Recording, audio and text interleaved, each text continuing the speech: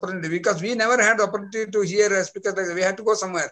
But here you can see from your place and see. We have more popularity from outside Kerala, people attending our uh, uh, webinars because we have such a high standard webinars. So I request all the PGs and others also to attend these webinars and uh, enrich your knowledge and uh, the sharing of knowledge of the very senior faculties from all over India and outside are coming. Last year week we had it was a wonderful webinar by Suresh Chengode and with the K discussion. It was really worth for everybody. So please make a point to attend these programs also. We are putting it regularly. And uh, with this, uh, I wish all the best and uh, over to you, President, sir. Yes, Dr. Binil. Your comments, please. Sir, Dr. Binil. Sir, our we'll move on to the academics directly. Okay. We, I request uh, the today's webinar coordinators, Dr. Rajesh MC and Dr. Vijesh Venugopal to initiate the academic proceedings. Dr. Vijesh, Rajesh and Vijesh, please. Thank you, sir. Uh, good evening, everybody. Uh, today we have uh, a very important topic to be discussed in the first uh, session, and that is going to be the assessment of the airway, which is uh, probably one of the most important topics uh, as an anesthesiologist that we have to uh. And to talk to us regarding this, uh, we have with us uh, Dr. Elizabeth Joseph, who is the additional uh, professor at Department of Anesthesiology, Government Medical College, Thrissur. Her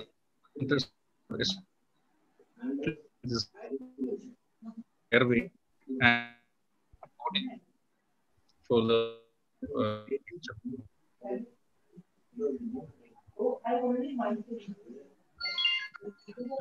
Vijay sir, there is some issues with your Hello? audio. hello. Ah, you are audible now. Yeah, uh, over to you. I, I, I had introduced her. I mean, it was not audible. No? Over to you, madam. Madam, please. Very sorry. I had some internet issues in between and I, I accidentally clicked the meet. I will not. I will not. Yeah, I know. I'm very, very, very, very sure. You, you know, how- even I didn't have the place was there. Now there's Ma- a- Madam, it's visibly we can start, madam. Yeah, okay. Yeah,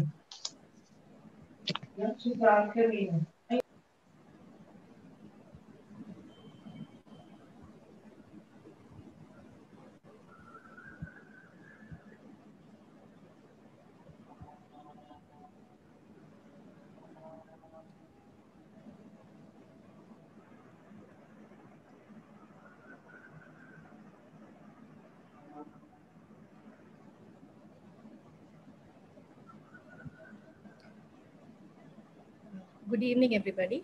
Uh, at the outset, I'd like to thank uh, ISA for giving me this opportunity to talk on assessment of the airway, which of course is a topic very close to my heart. And um, I'd like to thank the organizers and Ashish for giving me this topic. So before we go into the assessment proper, I would like to start off with a story, which uh, many of you will be aware of. This was just a routine operation. Uh, a 37 year old mother of two little children was posted for a sinus surgery. She went for surgery in the morning. Uh, her pre anesthetic workup did not uh, show anything significant. She showed a, she had a congenitally fused vertebra in her neck, but the rest of her airway assessment was rather uh, unremarkable. She had had four previous surgeries, which were all uneventful. So the plan of the anesthesia was to uh, induce her and uh, maintain anesthesia using a supraglottic airway device. But after induction with propofol and remifentanil, the anesthetist found that he could he was unable to insert an LMA. Uh, he repeatedly tried intubate, uh, inserting the LMA. He tried ventilating with a face mask. He tried intubating for almost 10 to 20 minutes, he repeatedly tried various methods of uh, ventilating and oxygenating this patient, but he was unable to do so. He even got help from the anesthetist at the next theater. Saturation went as low as 40 percentage. They tried using a fiber optic, uh, uh, they finally, they were able to put on an intubating LMA. Saturation rose to 90 percentage. Once the patient started breathing spontaneously, they removed the LMA, thinking that the patient would recover. But unfortunately, she did not recover. Then she was shifted to the ITU, and 13 days later, this, she died. So this story has been shared several times by her husband Martin Bromley, who's an airline pilot. And the purpose for he shares his so, stories so that others may learn and even more may live. So, what is it that went wrong here? They had done a pre anesthetic airway assessment, they found it to be unremarkable, and they did not expect a difficult airway. But things went horribly wrong. So, let's just see. Uh, as we go over the uh, talk today, we will, we will try to see what is it that we have to do to change our uh, method of uh, anesthetizing and securing the airway. So why is, an air, why is airway assessment important? What are the steps in airway assessment? And how do we put what we know into practice for safe airway management? Because as you can see from the story that I told you, they were all consultant, they were consultant anesthetists who were unable to intubate the patient, who were unable to secure an airway, who were unable to oxygenate the patient, and this led to a catastrophe. So there, uh, everybody would have heard about the NAP4, which was published in 2011. Uh, one of the clinical themes for the NAP4 was poor airway assessment, and they found that uh, poor airway assessment contributed to poor airway outcomes. Uh, when they reviewed charts of the patient, they found that airway assessment, there were, there were several lacunae. There was an omission in airway assessment, there were incomplete airway assessments, and thirdly, there was a failure to alter the airway management technique in response to the findings at the assessment. So these all these contributed to poor airway outcomes. So when you have when you have a when you are anesthetizing a patient, you see every patient as a potentially difficult airway. And you go to anesthetize a patient to secure the airway with not just a plan in your mind. You, so when if an unexpected difficulty arises, you should have a coordinated logical series of plans. That is a strategy. So when a potential difficulty with an airway management is identified, you require a stat strategy. That is a coordinated logical sequence of plans which aim to achieve good gas exchange and prevent aspiration. So what we have seen is that why do we have poor airway outcomes? When you look at that story that I told you, what happened was there was a failure to plan for failure. So this is something that can happen to any of us. We forget to plan for failure. We always expect to uh, intubate successfully, which 99% of the time we may be able to do so. But we should remember that we have to plan for a failure. Because otherwise, what happens is when a difficulty arises and an airway management is unexpectedly difficult, you have a very unstructured response. So there should be an individual preparedness. You should be prepared on how to manage the situation, as well as you should have an institutional preparedness. Just because you are competent to do a video laryngoscopy or a fiber optic or to do a advanced airway management, it will not work if you do not have the environment for that. You should be able to have the equipment for that. So there should be an individual preparedness as well as an institutional preparedness for your for you to have a successful outcome. And our goal should be to reduce serious complications of airway management to zero. So as we know, assessment of the airway is an integral part of the preoperative workup. What we do is we predict if there will be any potential problems. We allow a management strategy to be developed ahead of time. So we have to think ahead of time and you develop your strategy. And we want to avoid an unanticipated difficult airway. So what is your aim? Your aim should be to plan ahead for potential problems in two areas, laryngoscopy and intubation and ventilation, that is oxygenation. So as I always tell my postgraduate students no patient will die if you do not intubate the patient. They will die if you do not oxygenate them. So, what is important here is you should always try to maintain oxygenation. So, you have to see whether this patient you will be able to bag mask ventilate the patient, whether you will be able to maintain oxygenation with a supraglottic airway device as a rescue technique, or whether you can maintain oxygenation with an infraglottic airway device or front of neck access as a last resort. So let us come to the airway uh, assessment of the airway as such proper. When we look at, uh, when we try to assess the airway, what do we want to see? We want to see if the, if you can, if this patient, you will be able to mask ventilate the patient. Will the patient be a difficult mask ventilation? Will the patient be a difficult intubation? Will the, will the patient have supraglottic airway failure? Is the surgical airway challenging? Does this patient have an increased risk of aspiration of gastric contents? And lastly, will the patient tolerate a period of apnea? So as such, patients who come with uh, critically ill patients uh, may not be difficult intubations, but they, they are what is known as a physiologically difficult airway because these patients will not tolerate apnea. So those patients also have to be considered as difficult airways. So at the end of this lecture, what uh, the objective is that we should be able to, we will go through a series of uh, how we will assess the patient. That is, we'll uh, by the history and physical examination, diagnostic tests, how we will assess the patient. At the end, I will also try to uh, put everything together in a concise way so that uh, we will be able to practically apply this in our daily clinical settings. So when you do an airway assessment, as with uh, any other uh, pre uh, anesthetic checkup, you uh, review the records of the patient. You should have an anesthetic and an airway focused history examine the patient, review relevant lab and radiological studies.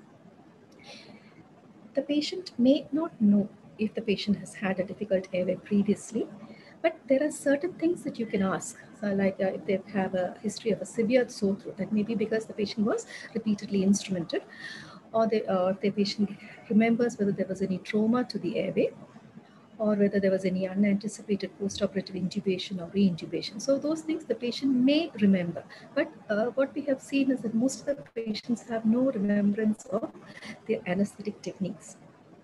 So uh, it would be worthwhile if uh, when we do our recording in our case sheets, uh, if we can write how the airway was for you, so that for future reference, if the patient comes for surgery next time. So I don't think we should have a problem in saying that you found it difficult to mask ventilate the patient, you found it a difficult laryngoscopy or a difficult intubation, what the Cormack-Lehane view was. So if we can make that a habit, that will be useful for future references. There are various medical conditions which are associated with uh, uh, difficult airway. We'll just quickly go run through them. Uh, diabetes mellitus is uh, one of the most common conditions that we find in the Indian population. And we have seen that long-standing diabetes and poor glycemic control uh, result in non-enzymatic glycosylation of the collagen tissues, and that will result in joint involvement. So if the atlanto-occipital joint or the laryngeal joints are involved, there will be problems with neck extension, laryngeal mobility, and this will result in because you will not be able to adequately position the patient. This you will have a difficulty in laryngoscopy. There are some tests which are described uh, this, uh, as you can see in the bottom corner, the sensitivity is only, it ranges from 13 to 75 percentage, the specificity is 69 to 96 percentage. But for the postgraduates, for your, from your exam point of view, there's a favorite question for the examiners. Uh, there, there are two signs known as the prayer sign and the palm print test, where you ask the patient to approximate their hands and see if uh, the uh, phalanxes are approximated. So if there is a, you can see from the picture, if it is not approximated properly, that is a positive test. And the palm print test is you um, paint the fingers or the hand of the patient with blue ink and ask them to press firmly on a piece of paper. And depending on how much of the ink is on the paper, you grade it from zero to three. Rheumatoid arthritis is also a common condition where you may find a difficulty with mask ventilation and uh, intubation. This is because the uh, joints are involved. In addition to the joint involvement, you will have mucosal edema and laryngeal nodules as well as swelling of the arytenoids. So all these together will contribute to a difficult mask ventilation as well as a difficult intubation.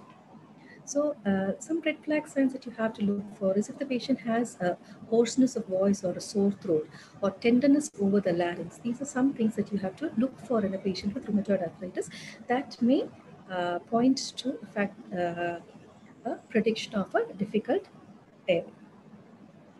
Also ask how long they have had these symptoms, what is the length of the diagnosis, and whether they are using any steroids, because all those may point to a prediction of a difficult airway. Ankylosing spondylitis is also a, a, a, situation which we all know is uh, uh, can cause a difficult airway. Uh, problem with ankylosing spondylitis is that it is a difficult airway as well as for regional anesthesia also this patient will be difficult because this patient has got a bamboo spine, there's fusion and rigidity of the joints and osteoporosis. So this is, uh, this is a nightmare for the anesthetist. These patients may already have uh, neurological deficits.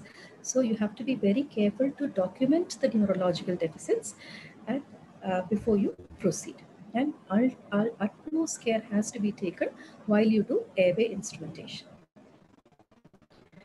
Temporomandibular joint disorders uh, be either articular or non-articular, and you ask the patient history of whether they have any clicking or grinding of the mandibular movements, any periauricular pain, pain radiating to the head or neck, pain with chewing or restricted movement, and joint hypermobility we will come more into, uh, we will be talking more about the temporomandibular joint, so I'll stop here with that.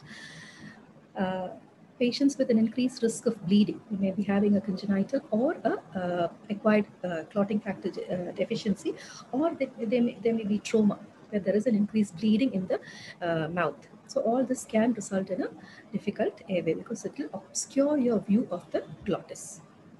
Then, cardiopulmonary illness. As such, as I mentioned earlier, this is not this this patient may not be a difficult airway but these patients tolerate less apneic time before desaturation begins because they uh, so some of the situations are when the patient has got a reduced frc or if they have a decreased diffusion of oxygen across the lung parenchyma, or there is an increased oxygen consumption. So there are different conditions like pregnancy, obesity, obstructive sleep apnea, all these conditions where you have a uh, uh, reduced FRC diffusion uh, and increased oxygen consumption, all these patients will contribute to a difficult airway. And now in the COVID pandemic, we have an additional patient who is a difficult airway, that is a COVID patient uh, who will be coming to you for uh, desaturating, coming to you for intubation, or rather you will be going to the patient for intubation. So this patient again is a patient who's not going to tolerate the apnea time, who's not, who is already desaturated. So this patient is again a difficult airway.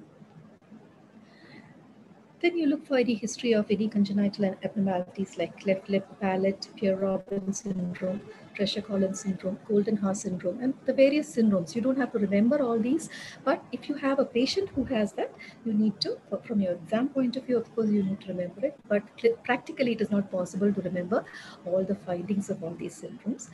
But uh, when you have a patient with this, at that particular point, you, you have to review what are the associated uh, conditions that the, uh, the patient has. Masses of the head and neck and airway. Any abnormality in the uh, relating to the mouth, face, larynx should be thoroughly investigated.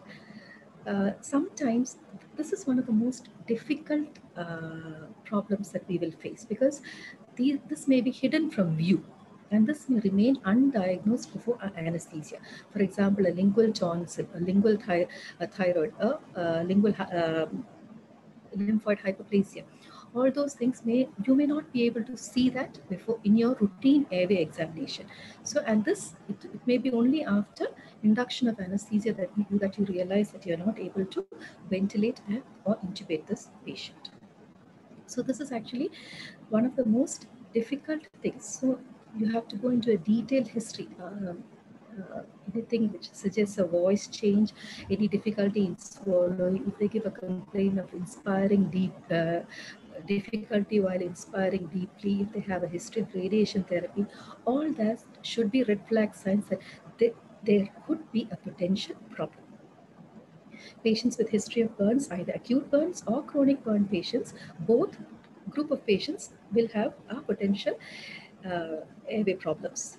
The acute uh, situation, there will, there will be thermal injury as well as they're likely to have an inhalation injury, both of which can have can result in a difficulty in uh, intubation or mask ventilation.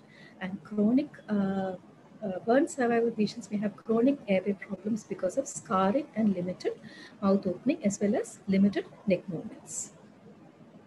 The other condition that uh, we may come across is acromegaly, where you can see that uh, there is a there is a whole change in the uh, shape of the face because of an over uh, over uh, the increase in the growth hormone. So there's an increased frontal bossing, the thick lips, parotid hypertrophy, uh, and a large tongue. Because of all that, you will have a difficult. You can see if you look at the right side of the picture, this patient invariably becomes a difficult mask ventilation patient will be a difficult laryngoscopy and because of a large tongue and some because this mandible lengthens that you will need longer blades to uh, uh, do a scopy and intubate the patient. And because of the uh, thickening uh, the mucosal thickening you will need to use smaller tubes. The other nightmare for uh, anesthesia obese patients. Here you have both anatomic as well as physiological changes the type of obesity is also important. It's not all obese patients will be difficult areas. So look, if you look at the distribution of fat, patients who have got distrib fat distribution in the parapharyngeal tissues, which have an increase in airway collapsibility, and they also predispose to OSA. So that is patients who have an android pattern of obesity with uh, distribution of adipose tissue around the trunk, upper body and neck. So this is mainly found in males rather than in females. Those are the patients who you expect to have a difficult airway.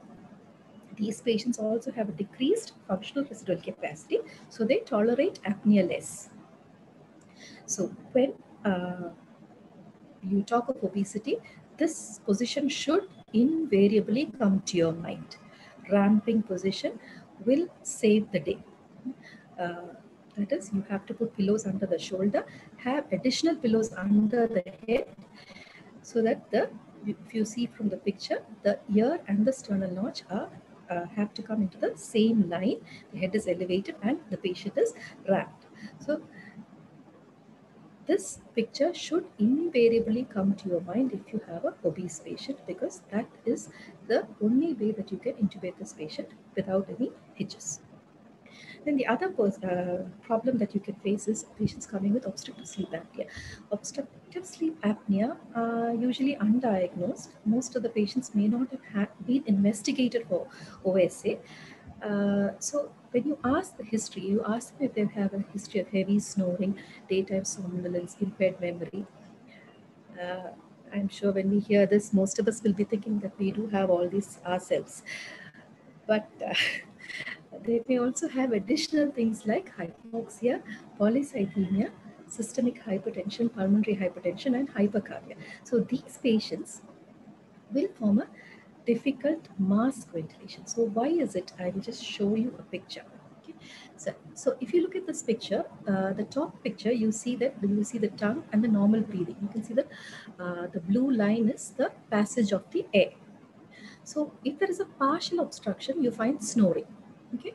And in the lowest picture you find that there is a collapse of the parapharyngeal tissues. So because of this collapse of the parapharyngeal tissues there is a complete obstruction of the airway. And so there is a complete obstruction. So this is what happens. So these patients once you induce the patients and you put these patients to sleep you will not be able to mask ventilate these patients because there is a collapse of this parapharyngeal uh, tissue. So that is why uh, getting a history of obstructive sleep apnea is very important. So this is this is a questionnaire which has been validated. There are different questionnaires like the Berlin questionnaire, the STOP-Bang, but this is the one which is the most uh, user friendly and which is used. That is the Stop Stop Bank questionnaire can be used to uh, assess if the patient has got a risk for obstructive sleep apnea. The other condition which uh, uh, is always a nightmare for us is a pregnant patient who is coming for a general anesthesia and especially for residents the problem now is that many most of uh, our residents would not have uh, given general anesthetics to pregnant patients because we, we the uh, incidence of you uh, intubating general anesthetic patient, um, obstetric patients is very low these days. We usually do them under regional anesthesia. So uh, sometimes it may be after your MD that you may be uh, intubating a pregnant patient for the first time.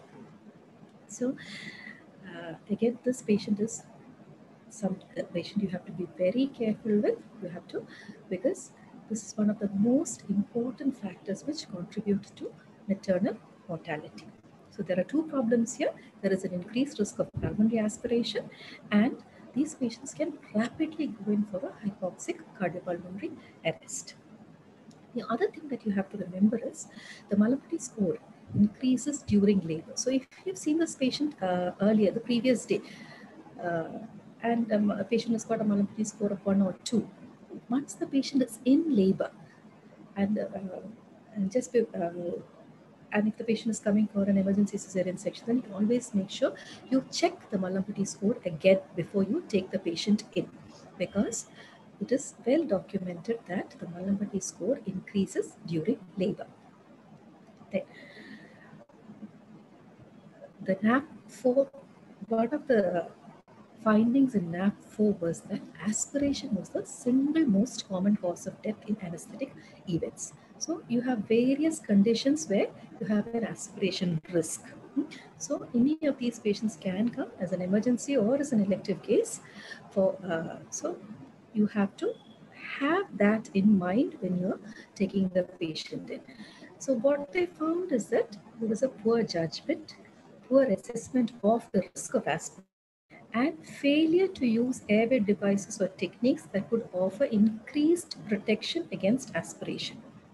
And several major events occurred when there were clear indications for a rapid sequence induction, induction but this was not performed. So this is a finding of NAP4, which is one of the largest audits in the world. It found that aspiration was the single most common cause of death during induction. So in anesthesia. So you have to be very careful in your history. You have to find if the patient has got an increased risk of aspiration.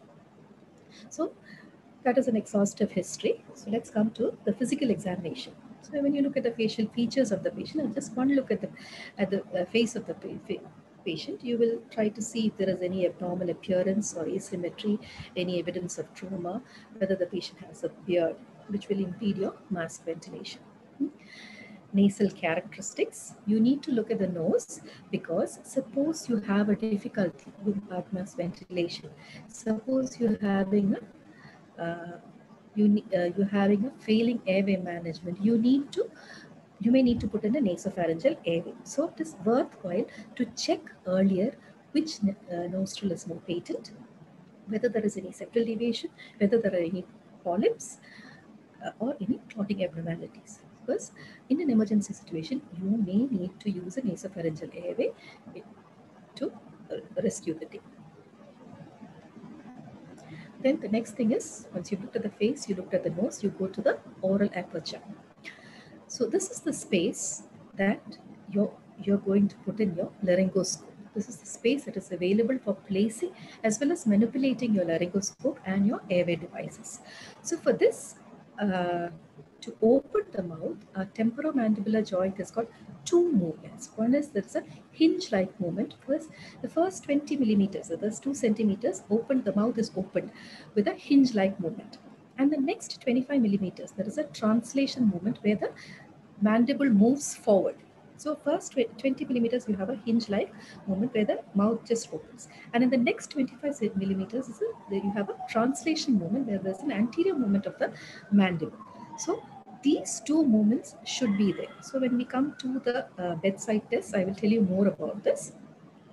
So that is why you have to have an inter-incisor distance of at least three centimeters because the first two centimeters is only the hinge-like movement. The rest of the movement is also required for your laryngoscope. Sometimes the patient may have a uh, difficult mouth opening, but uh, that may be because of muscle, uh, mus masseter muscle spasm or pain. This will be relieved by anesthesia. But if it's a mechanical problem, this remains unaltered.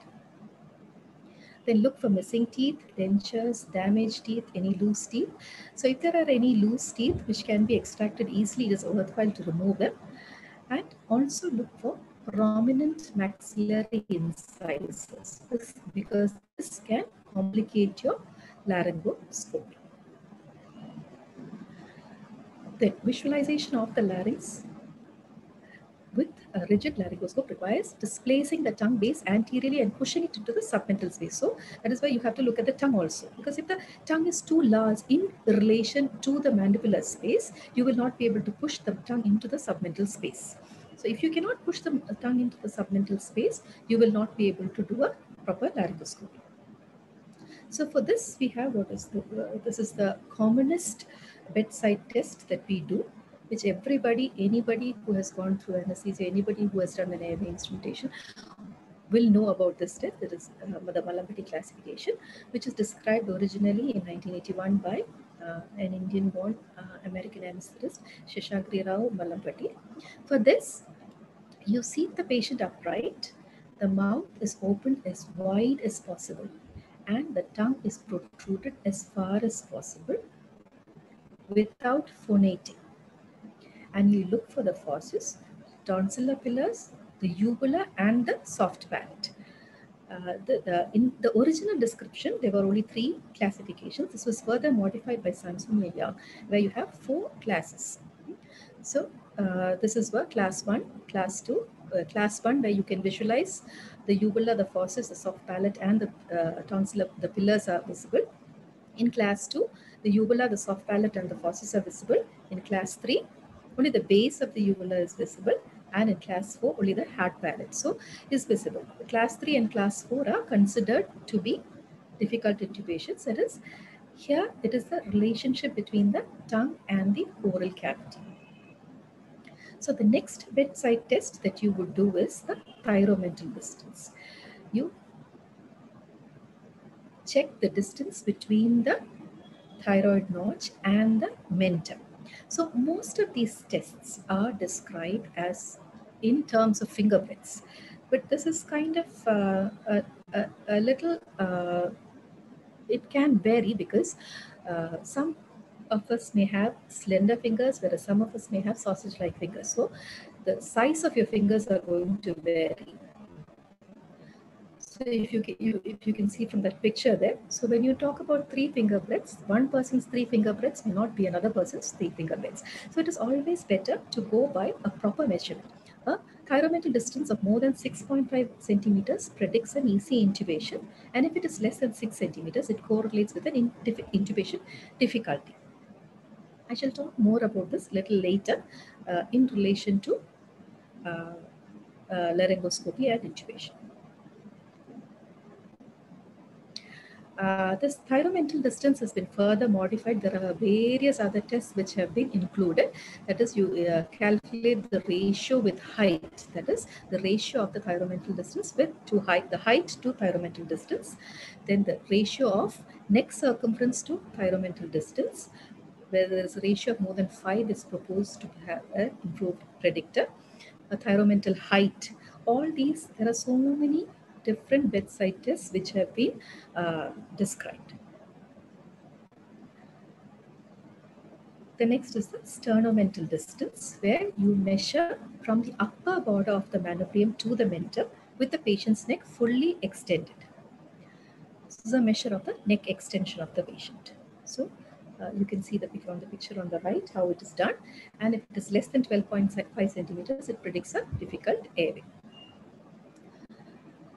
So these are these are some of the measurements that you do. In addition to that, you look at the neck anatomy and the mobility because uh, for your intubation, you need to position your patient. And for that, the, the neck movement is very important to get your ideal sniffing position. So for that, you ask the patient to sit in the neutral position. You make the patient uh, flex the neck and ask the patient to place their chin on the chest. An extension is measured when the patient extends the neck backward with the mouth open. So here you can see, uh, this is how you get you measure the extension. So the the uh, the upper incisors is taken as the baseline, uh, and then you ask them to uh, extend the neck and see what is the movement of the upper incisors in uh, relation to the uh, uh, uh, line drawn parallel to the floor. So at least 35 degrees should be the extension. The other test that we do nowadays is a mandibular protrusion test. As I mentioned earlier, the hinge, in addition to the hinge-like movement, you need the translational movement for uh, uh, laryngoscopy. So that is that it is that movement that is tested when you do a mandibular protrusion. For this, you do a jaw protrusion. You place the mandibular incisors in front of the maxillary incisors. That is class A, where you can you can protrude. B, when you can bring it to edge to edge, and C, when you cannot bring it beyond the maxillary incisors. And the other test is the upper lip bite test, where you ask the patient to bite the uh, uh, upper lip above the vermilion line. If they're able to do so, it is grade 1. Class 2, if they can just bite below the vermilion line. And class 3, if they cannot bite the upper lip. So we've gone through an exhaustive list of uh, tests that can be done. In addition to that, we should not forget to check the neck whether you will be able to do a front of neck access if required. Uh, most, uh, most of us have not had to do this, but if a situation arises where you have to do it, you should be able to do it. It has been found in the NAP4 that there was a delay and very high failure rate in establishing a eFONA. So if you remember the story that I told you earlier about Elaine Bromley, when they found that the patient was continuing to desaturate, if they had thought of doing a front of neck access, actually one of the nurses had suggested the tracheostomy, but they had not heard her and she had not been bold enough to say this loudly.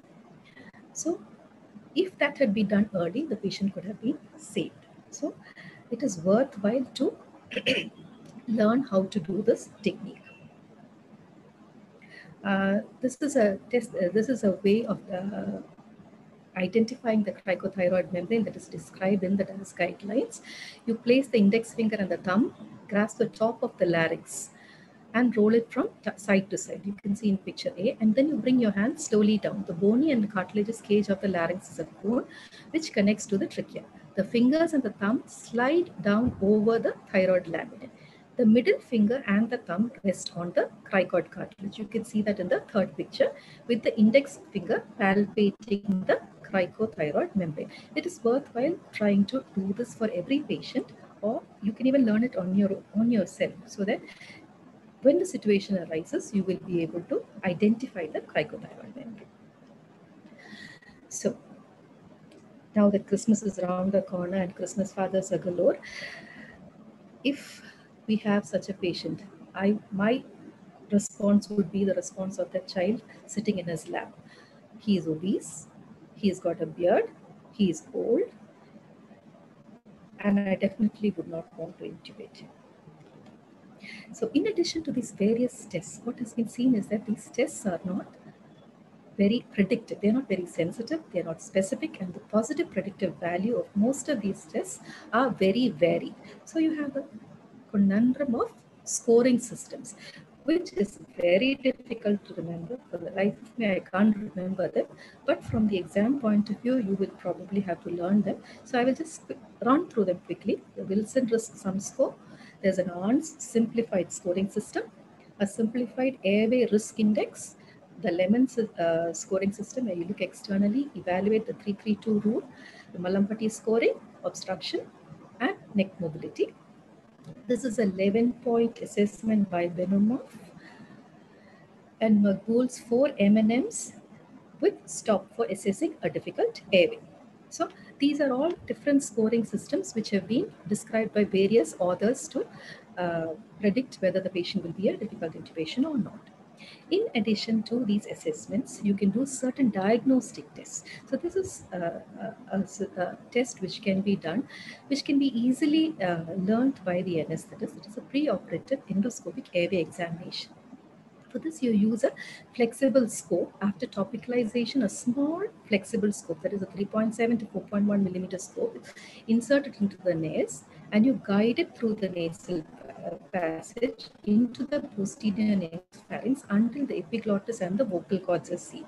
And you can assess the nasopharynx, the larynx, and the glottis. So in this way, you can assess any abnormalities of the base of the tongue, tumors or abscess that distort normal anatomy. So these, these abnormalities you will not be able to see in your routine bedside assessment.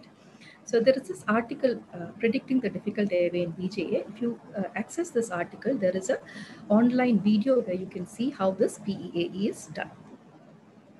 And this may influence your decision on planning to intubate the patient, on how you intubate, whether you need to do an awake intubation or a, uh, a sleep intubation. The other uh, test, the new kid in the block is, of course, ultrasound. Uh, sadly, I still have not mastered this technique in uh, doing an airway assessment, but this is something that I think we should all learn on how to assess the airway using an ultrasound. For this, you because it is safe, it is real-time dynamic tool, which you can use it at the bedside just before you induce your patient. For this, you need to use the linear high-frequency transducer. You can visualize the pretracheal fat in obese patients. Head and neck pathologies can be assessed.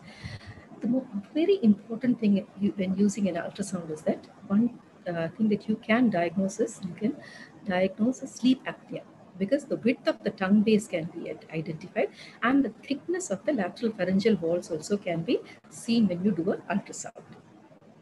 The other important use of the ultrasound machine is to identify the cricothyroid membrane. If you look at this picture, you can see the thyroid cartilage, the cricoid cartilage, and the tracheal rings, which are seen like a string of pearls. And between the thyroid cartilage and the cricoid cartilage, you have the membrane, which is the cricothyroid membrane. Identifying this earlier and marking it as. Other diagnostic tests that you can use are radiographs, which you may be able to find out in atlantoaxial instability. See if there is a reduction in space between the C1 and the C, uh, spinous process and the occiput. That is supposed to be an indicator of a difficult intubation. CT and MRI of goiters, tumors, uh, patients with goiters and tumors will show compression of the airway, anterior lateral displacement of the larynx and trachea. And now there is this new toy which you can use uh, to assess the difficult airway. This is a virtual endoscope. Here, uh, you can you can generate a virtual airway endoscope applying the OsiriX software to head and neck computed tomographic scans. Virtual endoscopy uh, will correspond accurately with a fibro, uh, fibroscopy. It represents a non, non-invasive and safe tool to help airway management planning. So you, with this, using this app or in the uh, higher end uh, radiology machines, uh, you can create a virtual 3D image. So I have some pictures which uh, one of my friends has uh, very graciously shared with me. Here you have a, a virtual image. You can see the tracheas, the minimal intensity, project, intensity projection and a co color-coded virtual rendered images.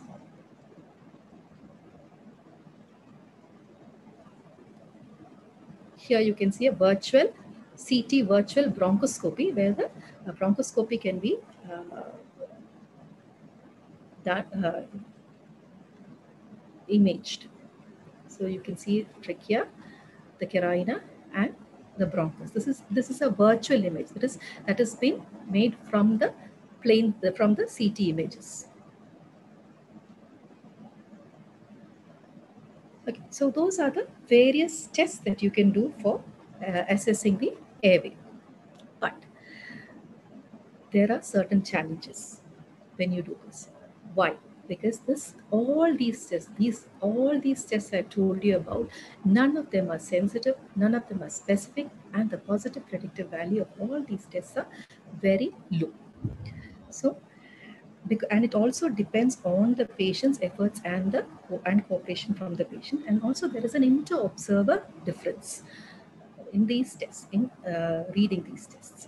So what we usually do is we apply multiple bedside tests. If you look at this uh, large database of over 180,000 patients they found that almost 93 percentage of intubation, difficult intubations were unanticipated. That is, they have gone through a database of 1,80,000 cases and they found that 93 percentage of them were unanticipated. And when a difficult intubation was anticipated, only 25 percentage of them had an actual difficult intubation. And if you look at mask ventilation, 94 percentage again were unanticipated and of those who had an anticipated difficult mask ventilation, only 22% had actually had a difficult mask ventilation. So you wonder, is it worthwhile doing this? Yes, it is worthwhile because uh, you spend five minutes on assessing the patient's airway. It makes you think about what is what are your plans, what what is your strategy for managing this patient and if uh, I will also just uh, go through a new model. Okay, uh, this is a, a three a, a three column model for direct laryngoscopy. So if you if you just go through this, you will understand why many of these single tests are not uh, effective. So if you look at this, uh, to do a laryngoscopy, you need to have a static positioning of the head and neck, as well as a dynamic positioning. Okay, so for the uh, if you if you look at the picture on top, you can see that there are three columns. You have a blue triangular line, that is the anterior column. That is the uh, submandibular space. That is a, that is that that is formed by the mandible and the hyoid bone. Then you have the middle column, which is the airway passage, as well as the posterior column, which is the uh, the bony uh, part. Okay, so so these three, uh, it is an interaction of these three columns which with where you have where, where that you use for your intubation, for your laryngoscopy and your intubation. So the first part is a static positioning of the head and neck before laryngoscopy. That is the posterior complex. So as we all know, we've all learned there is a there are three axes. and alignment of these three axes is what uh, is the uh, first part of your uh, uh, airway management. So static positioning of the head and neck, the posterior complex. So this depends on the occipito-atlanto-axial complex. So that is the first one. So there, so I, I will come to that in the next slide. So that is the first part. Then the next part is the dynamic phase of your laryngoscopy. Here you have the anterior complex, that is the submandibular space and the laryngeal skeleton. So if you look at the picture below, you will see an inverted pyramid if you see the, you see the picture of the mandible and the hyoid you see you can see a picture of an inverted pyramid is drawn there. So that is the relationship. That is your submandibular space. So the boundaries are the the temporomandibular joints and the lower incisors. That is that forms the base of the inverted pyramid and the apex is formed by the hyoid bone. So here you have the uh, this is where your uh, the, your anterior complex. So this is the part that is active when you do a laryngoscope. So if you look at it like this, uh, the volume of the uh, submandibular space, the compliance of the submandibular space, the range of movements of the temporomandibular joints, and the range of movements of the stylohyoid ligaments all will uh, are required for your dynamic phase of your laryngoscope. So this is why you will not be able to assess everything totally with just your mouth opening and the thyromental distance. Because if you look at the picture there, you can see the distance between the two temporomandibular joints. That is something which you cannot assess. That, that is not being done in any of your bedside tests. But when you open the mouth and if you look at the palate, if you see a high arched palate, that points to a narrow distance. The the distance between the two temporomandibular joints are likely to be narrow if the patient has got a high arched palate. So that so that so you have a smaller distance there. I hope that it is clear. And then you have the air passages. So if you just look at this, uh, so if you look at the various tests that can be done, so uh, you have a posterior column, the middle column, and the anterior column. The posterior column is the cervical spine, and for this you test the neck extension and the lower cervical flexion. So these are the two tests to test your posterior column. And to check the middle column, that is the airway passages. For this, uh, you can only go by a history. None of your routine bedside tests, you will be able to assess the uh, middle column, but by history, uh, imaging, and a nasopharyngoscopy, you will be able to assess the middle column. And the anterior column is what we, the other thing that we do. That is, you look at the volume of the submandibular space. It may be a relative or an absolute decrease in the volume. An absolute decrease in the volume will be the, the uh, uh, that whole space is totally decreased. Or if it is relative, it is because the tongue is large in comparison to the submandibular space. So for this, you look at the the temporomandibular joint. You look at the thyromental, sorry, you look at the thyromental distance and the Mallampati scoring and the protrusion of the mouth. That is for the temporomandibular joint function. You look at the mouth opening and the mandibular protrusion. And you look at the compliance of the submandibular tissue. You uh, palpate there and see. See if the patient has got any history of previous radiotherapy. So all this will point to whether your anterior column is fine. So if you look at this, if you look at your airway assessment in this model, you will be able to better understand why no single test is effective for telling you whether this is a difficult going to be a difficult laryngoscopy or not, or difficult intubation or difficult mask ventilation. So if you look, if you uh, have this in mind, the anterior column, what is it that I'm looking for there? What is it that I'm looking for in the middle column? And what is it that I'm looking for in the posterior column? You can uh, put all these tests into practice. So at the end of all this, you have to think, will I be able to mask ventilate this patient? There are certain predictors for a difficult mask ventilation. And there is one important predictor for an impossible mask ventilation. That is a neck irradiation. This is the most significant predictor of impossible mask ventilation. What do you mean by impossible mask ventilation? That is defined as an inability to achieve gas exchange despite the use of adjuncts, multiple providers, and giving a neuromuscular blockade. So what there are certain predictors for a supraglottic airway failure male gender, high BMI, poor dentition, surgical table rotation, age more than 45 years, short thyromental distance, and neck immobility. And this is some of findings that uh, notable factors that influence your laryngoscopy. So these are certain predictors of a difficult intubation. So there is, as I mentioned earlier, there is no single test where you can do to where, you can assess whether the patient is a difficult intubation or not. You go by a various number of criteria, but you have to think why you are doing each test. So then you will be able to uh, put it into a practical use. Then after all this, you need to be able to extubate your patient because it is not just enough that you intubate your patient because safe landing is also important. So predictors of difficult intubation are trauma induced by attempts to secure it initially, residual effect of your drugs, obese patients, airway surgeries, Trendelenburg position, prone position, and prolonged intubation all are predictors of difficult intubation.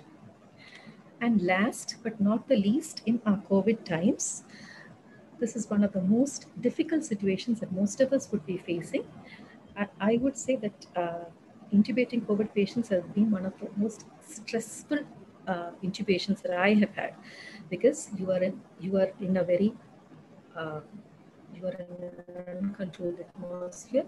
You are in the ICU, but that being in the ICU is not like being in the OR, and you are you are you are you are wearing a PPE you have a patient who's desaturation, desaturating, and who is also talking to you, who is asking you whether will I be alive at the end of this. So that it causes a lot of stress on you. So this is one of the most important. This COVID times, uh, I feel that this is one of the most difficult situations that any of us would be facing. So there are various factors in addition to your history, the physical examination, the lab tests, uh, as well as human factors, which will aid you in your proper assessment and formulating a plan, or, sorry, not a plan, a strategy in managing uh, uh, the airway. Thank you.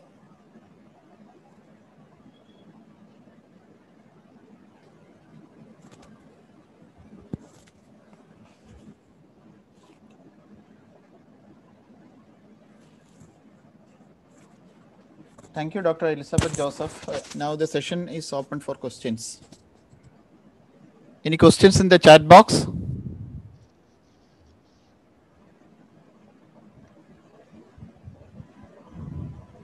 No questions in chat box so far. No questions. Uh, no questions. It is a very comprehensive uh, discussion of uh, the airway assessment.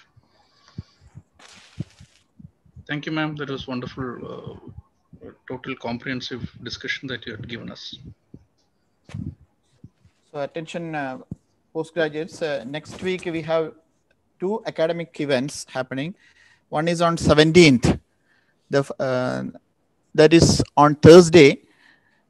You have advanced hemodynamic monitoring in renal transplant patients. That's by Dr. Vinodan K, HOD Department of Anesthesia Medical Trust Hospital. And uh, another session, intraoperative hypotension and artificial intelligence. That is by Dr. Sangeetha Khanna, Director, Institute of Critical Care and Anesthesiology. It's from Medanta Medicity. And the chairpersons are Dr. Divatia from Professor and HOD from Tata Memorial Hospital, Mumbai, and Dr. E.K. Ramdas, HOD Anesthesia, BMH Calicut. And the next, uh, and followed by another session on 19th. That's the PG update. That is very important session for the postgraduates uh, facing, uh, for all postgraduates. And now the norm is uh, OSCE, Objective Structured Clinical Examination for the practical exams. That's we have two experienced uh, faculties, uh, Professor K.K. Mubarak and Dr. Vijesh Venugopal. And uh, please that uh, see that all postgraduates is attending both ses- sessions. If any of your friends not getting regular PG updates or not uh, uh, included in the WhatsApp group, please message their names and email address to myself, Vijesh, or uh, Dr. Binil.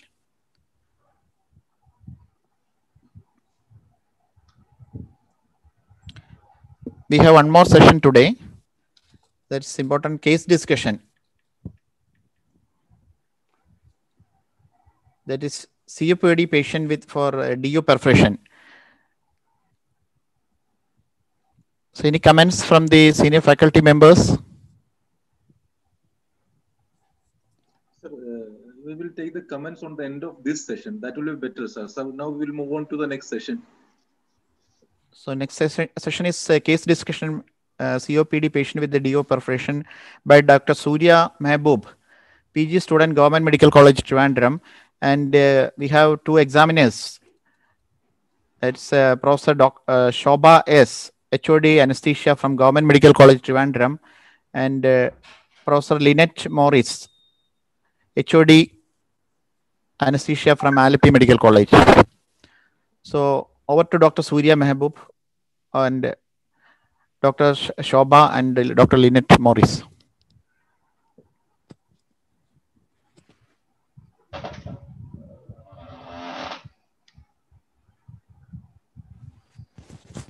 Linette, madam. Yes, audible? Yeah, madam, you are audible, madam. Yeah. Okay, fine.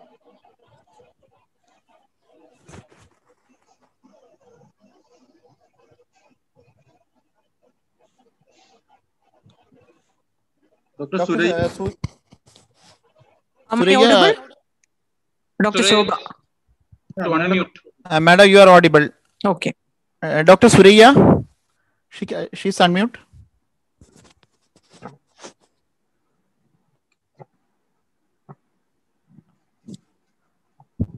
Sir, am I audible?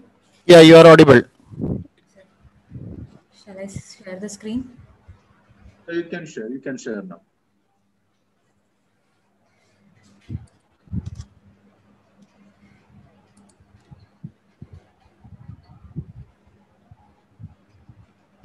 Sir, is the screen visible?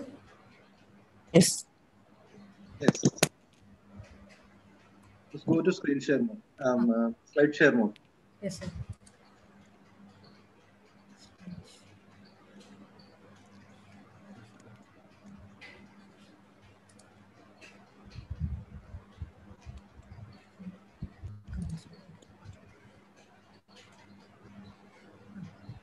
Is it okay now, sir? Yes. Shall I, shall I start, sir? Yeah, please. Start. Surayya. Good evening, sir and madam. My case presentation for today is COPD patient with uh, duodenal ulcer perforation. Presenting complaints, abdominal pain for five hours, breathlessness for the past five years, aggravated during past two months, and productive cough for two months. History of present illness. A 55-year-old male patient, waiter at hotel by occupation, came with complaints of abdominal pain for five hours, started as epigastric pain, now presented as diffuse abdominal pain, and pain was aggravated by movement, relieved on lying still. History of vomiting, two episodes. Vomitus was mainly food particles. History of epigastric pain, dull aching in, in nature, was after two to three hours of food intake, relieved by food intake with belching and blotting sensation for past one month. No history of radiation, nausea, diarrhea, constipation, or weight loss. Patient also complains of breathlessness for the past five years, aggravated for past two months. History of exacerbation on exposure to dust and during morning hours and on exposure to cold. He also gives history of breathlessness on climbing stairs, relieved on taking inhaled medication. No history of orthopnea, PND, palpitation, syncopial attacks, chest pain, or pedal edema. History of productive cough for past two months initially started as dry cough and later became productive. White mucoid sputum, scanty in amount, not blood-stained or foul-smelling. There is no history of evening rise of temperature, no loss of appetite, loss of weight, or hemoptysis. Past history, history of acute ep- uh, episode of breathlessness with cough, and he was admitted in hospital thrice during the last one year. Last exacerbation was one month back. No history of invasive mechanical ventilation. No history of diabetes mellitus, hypertension, tuberculosis, breathlessness in childhood, drug or food allergy, jaundice or epilepsy, or CAD or CVA. No history of any previous surgery and anesthetic exposure. Treatment history for the past one year, he is on treatment with oral medication and inhaler metadose inhaler, salmeterol plus fluticasone, 1 puff OD, and oral tab Deriphyllin 100 milligram thrice daily. Family history, he is married with two children, no history of any significant comorbidities in family. Personal history, he takes mixed diet, appetite is normal, sleep disturbed for past two months due to cough. Bowel and bladder habits were normal. He is a chronic smoker from age of 25. He smokes about 20 to 25 BDs per day. Now, for the past one month, he stopped smoking. Pack years is equal to 25 by 20 into 30 is equal to 37.5 and smoking index of 750. He is an occasional alcoholic. He lives in a kacha house and belongs to low socioeconomic status. General examination. He was alert, conscious, oriented about time, place, and person, moderately built and moderately nourished, height 158 centimeter, weight 54 kg, and BMI 21.6 kilogram per meter square. Grade 2 clubbing present, no pallor, icterus, cyanosis, clubbing, uh, cyanosis, lymphadenopathy, or pedal edema. Skin, hair, and nails were normal. He- He has NPO for 8 hours, hydration status, skin turgor normal, tongue normal wet, and capillary refill is less than 2 seconds vitals, pulse rate 104 per minute, regular, normal volume and character, vessel wall was thickened, no radiofemoral delay, and all peripheral pulses felt equally bilaterally. BP 100 bar 60 millimeter mercury in right upper limb in the supine position, respiratory rate 24 per minute, regular, abdominothoracic, accessory muscles not active, and he is afebrile with 98 degree Fahrenheit in the axilla. SpO2 is 96 percentage in Roman airway examination, nose, don't deviated nasal septum, nasal discharge or crusting, Ryle's tube in situ, Mouth opening was 5 centimeter. Teeth malaligned. No loose tooth or dentures. Poor oral hygiene. Mallampati class 2. Temporomandibular joint admit one finger. Thyromental distance was 7 centimeter. Sternomental distance 15 centimeter. Neck moments was normal. Spine normal alignment. Spinous processes palpated. In the Interspinous spaces seen normal. No kyphoscoliosis or tenderness. Systemic examination. Examination of abdomen. On inspection, abdomen was still, no movement with respiration, mildly distended, no scars of sinuses, no dilated veins, no visible pulsations or peristalsis. Hernial orifices and external genitalia normal. On palpation, diffuse tenderness plus and board-like rigidity was present. Percussion was not done due to tenderness. Auscultation, bowel sounds absent respiratory system, upper respiratory tract, nose, normal, paranasal sinuses, no tenderness, throat is normal. Examination of chest, trachea was central, chest was barrel shaped, bilateral supraclavicular hollowing was present, no infraclavicular flattening or drooping of shoulders. Chest movements appears to be decreased bilaterally. Respiratory rate was 24 per minute. No accessory muscles of respiration was active. No dilated veins without visible pulsations. On palpation, no local rise of temperature or chest wall tenderness. Trachea was central. Chest expansion 2 centimeters measured at the level of nipple. AP anteroposterior diameter was 23.5 centimeter and transverse diameter was 22.5 centimeter. Chest movements was decreased bilaterally. Vocal fremitus was decreased on both sides. Percussion. Resonant not, heard over bilateral supraclavicular, infraclavicular, mammary, axillary, infraaxillary, suprascapular, interscapular, and infrascapular area. Cardiac dullness was obliterated. Auscultation, vesicular breath sounds was heard over all areas and with occasional rhonchi. Vocal resonance was decreased.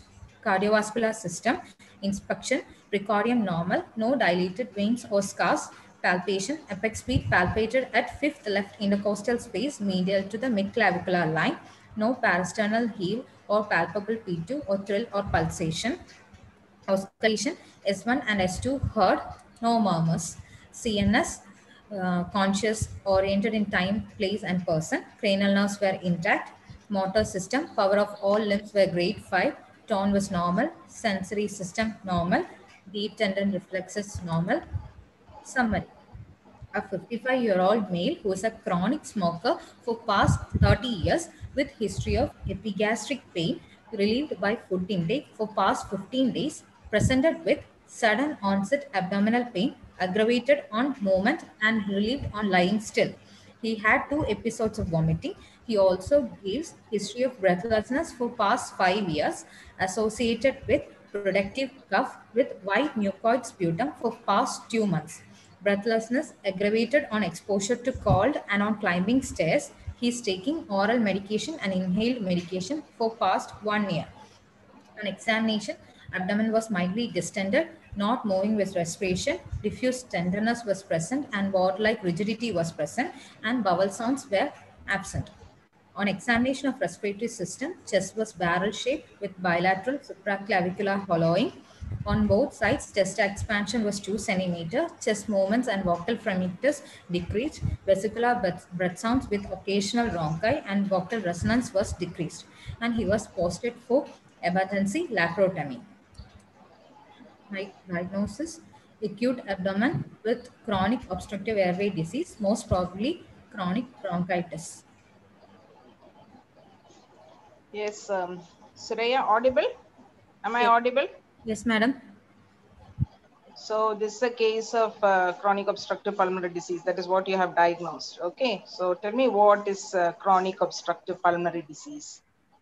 Chronic obstructive pulmonary disease is a preventable, uh, it is a persistent, uh, persistent airflow limitation, uh, which is due to, uh, and which is characterized by hyperreactive airways, which are uh, hyperreactive airways uh, to uh, noxious particles and gases. Uh, and uh, there are two uh, the two diseases are uh, two diseases uh, are classified uh, comes under uh, CO chronic obstructive airway disease it is chronic bronchitis and emphysema chronic bronch. Uh, So can you tell me what are the essential features by which you will distinguish between chronic bronchitis and emphysema? Chronic bronchitis and emphysema. Uh, Madam, chronic bronchitis, uh, uh, it occurs in age of 40 to 45 years. Uh, then uh, uh, emphysema is characteristically uh, seen in more 50 to 75 years. Dyspnea is my, uh, my, it is mild and late in chronic bronchitis, whereas it is, whereas it is severe and early in emphysema. Then in chronic bronchitis. What's the mechanism, underlying mechanism in chronic bronchitis and in emphysema? Uh, in chronic bronchitis, there is persistent airflow limitation due to airway obstruction, whereas in emphysema, there is uh, destruction of the uh, alveolar parent alveolar wall and results in uh, loss of loss of elasticity of the Yes. alveolar. Yes, continue. Uh, then uh, uh, then uh, okay. Uh, with the symptoms uh, with dyspnea it is mild and late in uh, uh, chronic bronchitis which is severe and uh, early in emphysema. Uh, sput about sputum which is early and uh, more copious compared to emphysema in chronic bronchitis. Uh, infections are more common in uh, infections are more common in uh, uh, chronic bronchitis, uh, whereas it is less often What about PaO2 and PaCO2? PaO, uh, PaO2 is uh, very uh, so decreased in uh, severely decreased in chronic bronchitis, so they are called as blot, blue bloaters, and in emphysema it is mildly decreased, so they are called as pink puffers. Uh, then uh, in the diffusion capacity is lost in emphysema, whereas the diffusion capacity is normal in chronic bronchitis.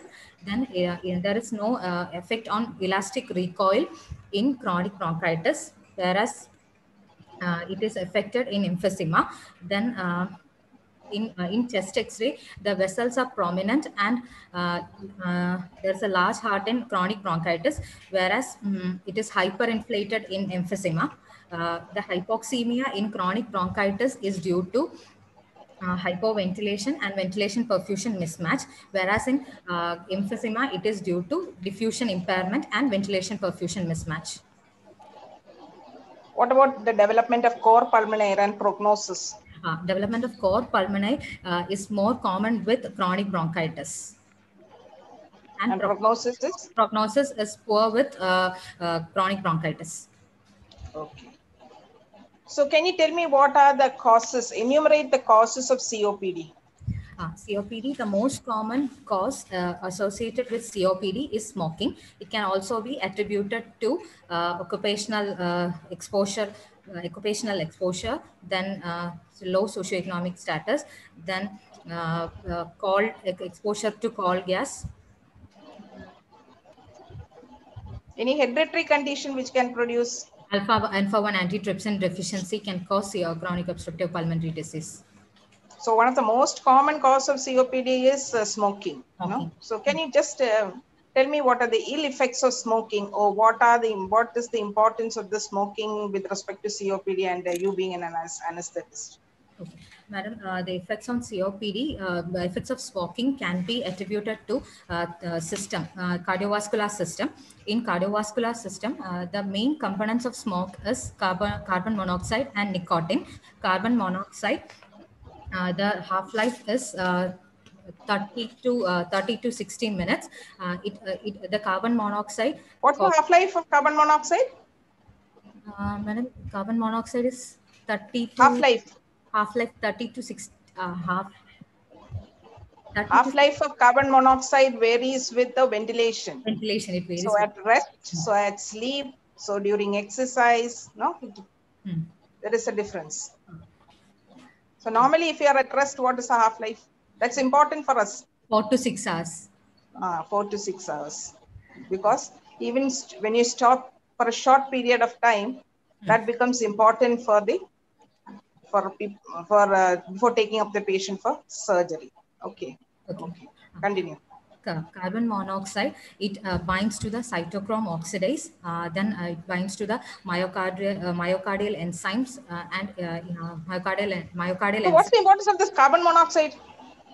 carbon monoxide causes chronic persist uh, chronic persistent hypoxia and which results in secondary polycythemia Mhm. Any short-term effect? Hypoxia, anemic uh, hypoxia results in Oxygen carrying capacity? oxygen carrying capacity is decreased and there is shift of the oxygen dissociation curve to left which, co- which causes uh, decreased oxygen release at the tissues and it causes uh, uh, secondary polycythemia Okay. as a compensatory Yes. Uh, yes. Uh, nicotine it, it activates the adrenal medulla and it uh, stimulates to uh, stim- stimulates uh, and it produces adrenaline and which affects the sympathetic system and it increases the heart rate bp uh, the myocardial contractility and pe- uh, peripheral vascular resistance Uh, this increases the uh, cardiac uh, workload So one is carbon monoxide. Any other component in cigarette smoke which is of importance? nicotine nicotine madam Nicotine. Yes, nicotine. Ah, correct. Yes. Continue. This uh, nicotine is attributed to uh, uh, stimulate the uh, sympathetic, uh, stimulate the uh, adrenal medulla, and it hence it causes uh, sympathetic activity. It activates the sympathetic system. It increases heart rate, increases BP, increases uh, uh, peripheral vascular resistance, and increase myocardial contractility, which increases the oxygen uh, demand and consumption. Okay. Now you said this is a case of COPD. Can you tell me how COPD is diagnosed? Madam, this patient is have oh, COPD is diagnosed. Uh, uh, the uh, uh, confirmatory diagnosis is by by uh, spirometry. Uh, No, no. Tell me how symptoms. What are the symptoms? These symptoms, not that confirmatory. Before that, the patient may have certain symptoms which predispose you to make a diagnosis, which can be established by using a spirometry, right? So, what are the symptoms these patients usually have? COPD patients will having symptoms like cough, uh, which will be uh, dry, dry in the earlier times, which will become gradually productive, and uh, with uh, infections, it becomes more, uh, more productive. Then uh, patients will be having dyspnea. Uh, uh, then What's the peculiarity of the dyspnea? Worsens with exercise. It worsen, worsens with exercise. Dyspnea It's a worsening. progressive dyspnea which worsens with exercise Exercise. and an exposure to the environmental Environment- susceptible factors. Factor, Noxious, no, noxious Can you tell me something about the grading of uh, respiratory dyspnea? respiratory dyspnea. Madam, there are two gradings for respiratory dyspnea. One is the MMRC uh, Modified Medical Research Council grading. Uh, next is the Roizen's grading. Modified Medical Research Council grading uh, uh, grades into grade 0, 1, 2, 3, and 4. In the in Modified Medical Research Council grading 0, uh, there is mm, no uh, there, there, uh, there is no dyspnea uh, uh, with rest the patient gets dyspneic only on strenuous exercise. In grade 2 the patient can, can walk in the level ground but walking a slight uphill will make the patient dyspneic. Grade 1 in grade 2 uh, uh, the patient will walk slower than the uh, uh, people of the same age group in grade 3 uh, the patient can walk uh, a certain distance and then he stops for breath in grade 4 the patient is having even dyspnea even at rest So, what's the importance of this MMR modified medical research scale? Madam? What is the mo- uh, what is the importance of this? You have graded the dyspnea, so Madam. higher the grade, uh, to uh, know the severity of the uh, uh, copd Okay, fine. and also Now, this patient is on a number of multiple medications. Hmm, no? yes yes Can you tell me what these medications and their anesthetic implications? Madam, this uh, the patient is taking bronchodilators, uh, like sa- it is a long-acting. So they may be on bronchodilators, they can be on what other group of drugs? They can be on inhaled corticosteroids. They can Steroids, yes, good. Any other group of drugs? they can be on digoxin uh, if the patient is having any features of uh, dys, uh, dyspnea and right heart failure. He may be on digoxin and cardiac drugs, And diuretics. Okay. diuretics, Um, okay. They can also be on mucolytics and mucokinetics. mucokinetics. Now, what are these bronchodilators? Tell me about the bronchodilators. Madam, bronchodilators, uh, there are, uh, it is beta 2, ag- bronchodilators are beta 2 agonist. Uh, Hmm. They, uh, they act by increasing the cyclic AMP level, uh, which causes the bronchodilation. Uh, there are short What's the importance to you as anesthetist if they are on chronic beta 2 agonist? uh, chronic beta 2 agonist can cause hypokalemia. So, which Ah. will uh, prolong the action of uh, muscle relax- non-depolarizing muscle relaxants, which we use in general anesthesia. Ah. And, Okay, al- then and also, uh, they can predispose the patient to uh, dysarrhythmias. yes, good. Yes. So, what are the other group of bronchodilators other than beta 2 agonist? Uh, anticholinergics. Anticholinergics, yes. Uh, Any other group of drugs?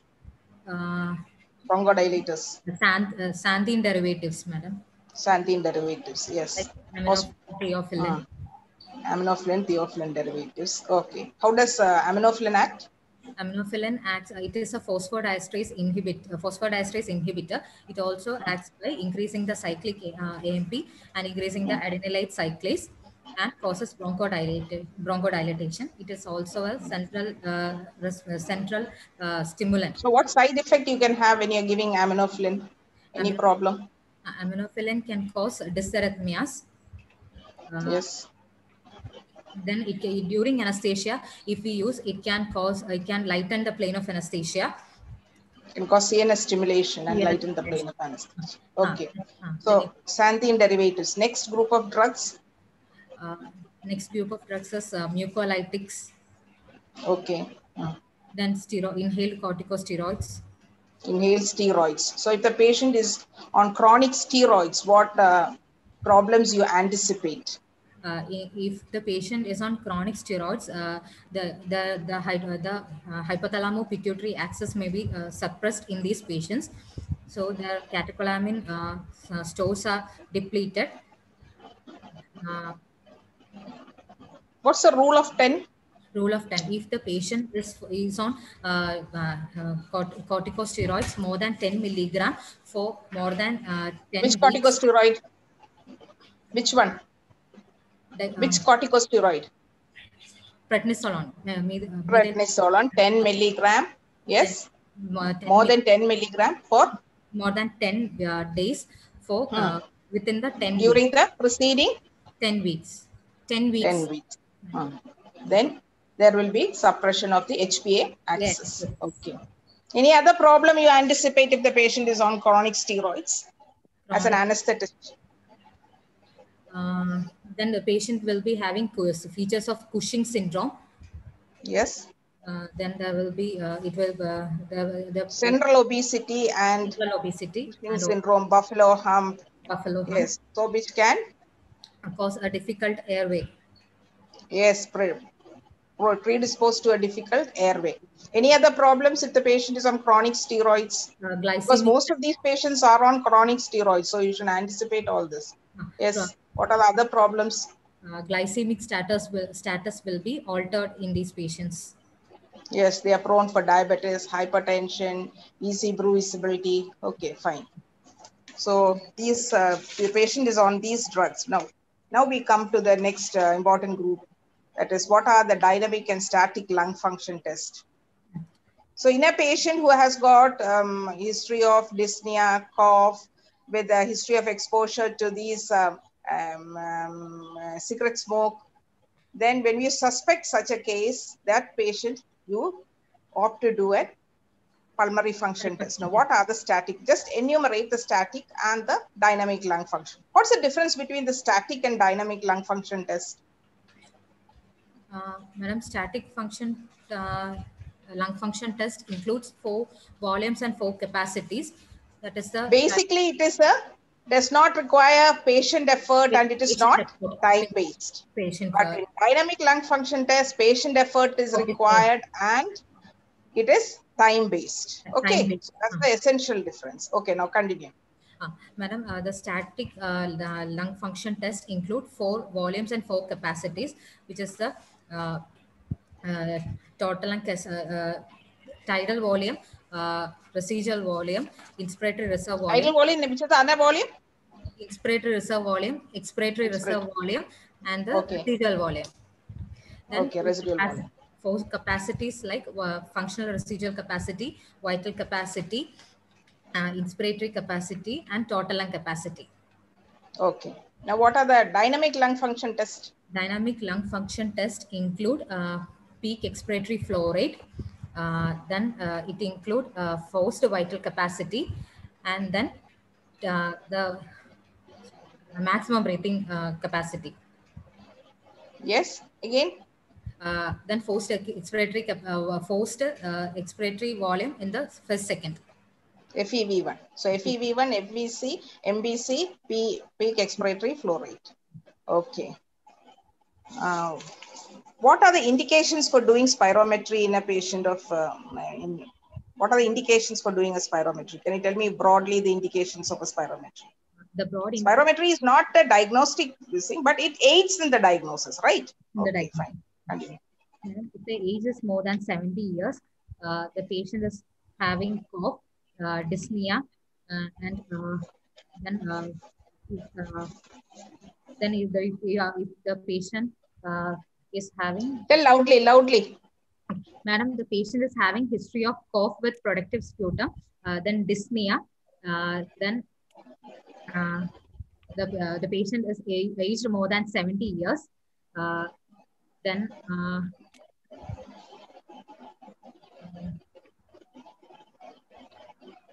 To aid in the diagnosis of COPD, uh, right? to aid in the Thoracic upper abdominal surgeries. surgery. Uh, Mm. Then, uh, then mm, can you know the reversibility of, um, know the reversibility of the treatment, of airflow limitation? limitation to assess and to diagnose the severity of the disease, uh, to assess the uh, treatment, bronchodilator therapy, and to uh, assess the uh, progress of the disease. Okay. And also to help in risk stratification, right? Yes. Now, can you tell me briefly something about the bedside pulmonary function test? bedside uh, the bedside pulmonary function test includes uh, first wheeze test. Uh, we'll ask the patient to take five deep breaths and then we'll auscultate between the shoulder blades to look for any wheeze. That's a wheeze test. Then uh, we'll auscultate on the truck. Next is the auscultation on the trachea to check for the post expiratory time. Usually the expiration takes uh, less, uh, less than four seconds. If the post expiratory time is more than four seconds, it is suggestive of airflow lim- uh, airway obstruction. Then uh, there is the single breath count test. Uh, we will ask the patient to take a maximum uh, inhalation and then count till uh, 50. The normal count is more than 50. If the patient counts less than 40, it is uh, suggestive of uh, uh, decreased cardio decreased uh, vital capacity. Then uh, we'll uh, we have the uh, breath holding uh, test. In Sabrasez breath holding test, we will ask the patient to take a deep breath. It is, it is to assess the cardiopulmonary reserve. Uh, then we'll ask the patient to take a deep breath and to hold the uh, breath. If the uh, breath holding time is uh, more than uh, less than 40 seconds, then uh, it is suggestive of less cardiopulmonary uh, reserve.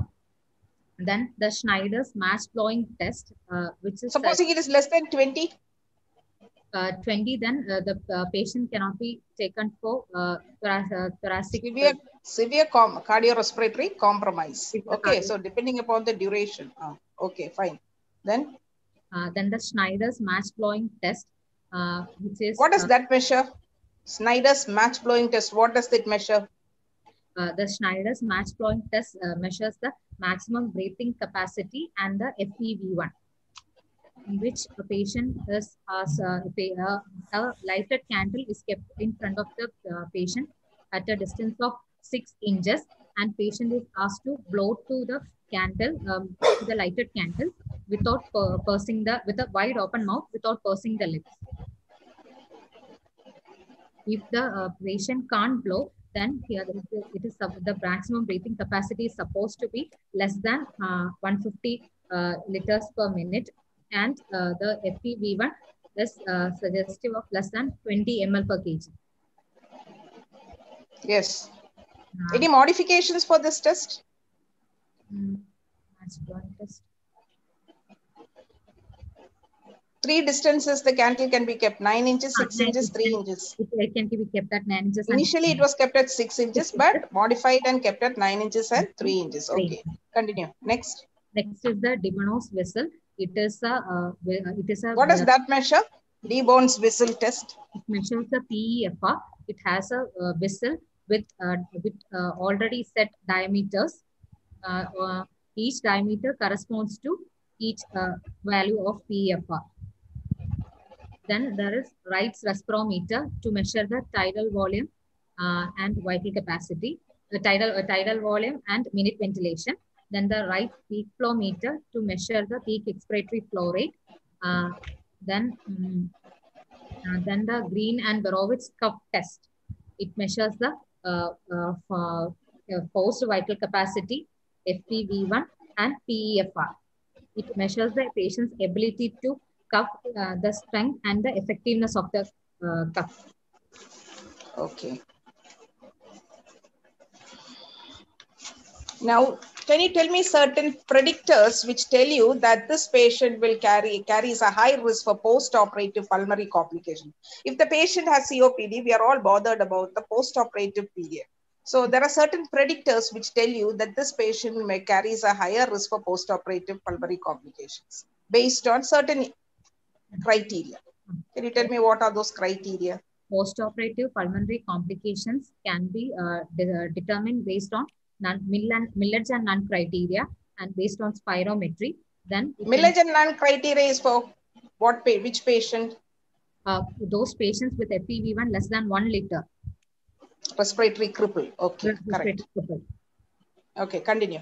Uh, then uh, we have then we have the spirometry uh, class classification. Then we have a classification based on spirometry and also. Um, What's the spirometric criteria? Can you tell me certain uh, um, principles on which they say that if this spirometric value is below this much, certain values which certain parameters. Uh, what are those parameters? Few parameters. Few parameters. Uh, the FEV1, uh, the FV, FV, FVC. Uh, if the uh, FVC is less than uh, fifty percent of the predicted value less than 50% of the predicted, predicted value. If FEV1 is less than uh, 50 percentage of the. It's very easy. FEV1, FVC, FEV1 by FVC, MBC, all these less than 50% of the predicted, predicted value. value. And they carry a higher risk for post-operative. Any other factor, patient factors? Uh, patient factors and procedure-related factors are there. Uh, the patient factors is age more than uh, 65 years, then uh, the patient having history of smoking, current smoker, then with ASA grade more than or equal to 2, and the patient having exercise intolerance. And the, there are surgery dependent factors. the patient having abdominal surgery, thoracic surgery, vascular surgery, neurosurgery, and open surgery have carries more risk than minimally invasive surgery and longer duration of surgery more than 2.5 hours and uh, general anesthesia. Then also hypoalbuminemia less than 3. Yes, nutritional factors. Okay. Now, can you tell me some strategies which are employed to reduce the risk of post-operative pulmonary complications in thoracic surgery in patients with COPD who are undergoing non-thoracic procedures? Uh, there is a five-pronged approach to reduce the risk of uh, post-operative pulmonary complications in uh, patient uh, COPD patient. The five-pronged approach. The first is the smoking cessation. next is the bronchodilator therapy. Next is the loosening of the secretions with removal of secretions. Then next is the patient education and also rehabilitation. Rehabilitation. Can you briefly tell me something about the lung expansion maneuvers which are usually done in these patients to reduce the risk of post-operative pulmonary complications? Uh, lung expansion maneuvers uh, include incentive spirometry, deep breathing exercises, uh, then pre-operative incentive spirometry, hmm. then post expiration technique. Postural drainage. Postural drainage. Just vibration, compression. No? Percussion technique. Okay. Okay, now over to Sobha. Hello, Over to Surayya. Surayya, can you hear me? Yes, madam. So now we have discussed about the COPD aspect of this patient. Now this patient has another comor- comorbidity also for which she ha- he has come for the surgery that is acute abdomen. Uh, now tell me, um, uh, in your opinion, what could be the reason for this acute abdomen he, which he has presented with acute uh, abdominal pain and vomiting like that and what is your uh, differential diagnosis and how will you diagnose it Madam, this patient is having clinical features of abdominal tension, vomiting, uh, then uh, uh, abdominal distension, abdominal pain, and vomiting. Okay. So this points to uh, uh, acute abdomen. This uh, points to an uh, acute abdomen. Then distension in acute abdomen. The it can either can be either your sound is very feeble surayya is there any problem no, madam. no don't get upset Talk loudly. okay the- talk loud Uh, okay the- continue continue Madam, this patient is having uh, features of abdominal pain, uh, vomiting, and abdominal distension, which points to a acute abdomen, uh, which are the symptoms suggestive of acute abdomen.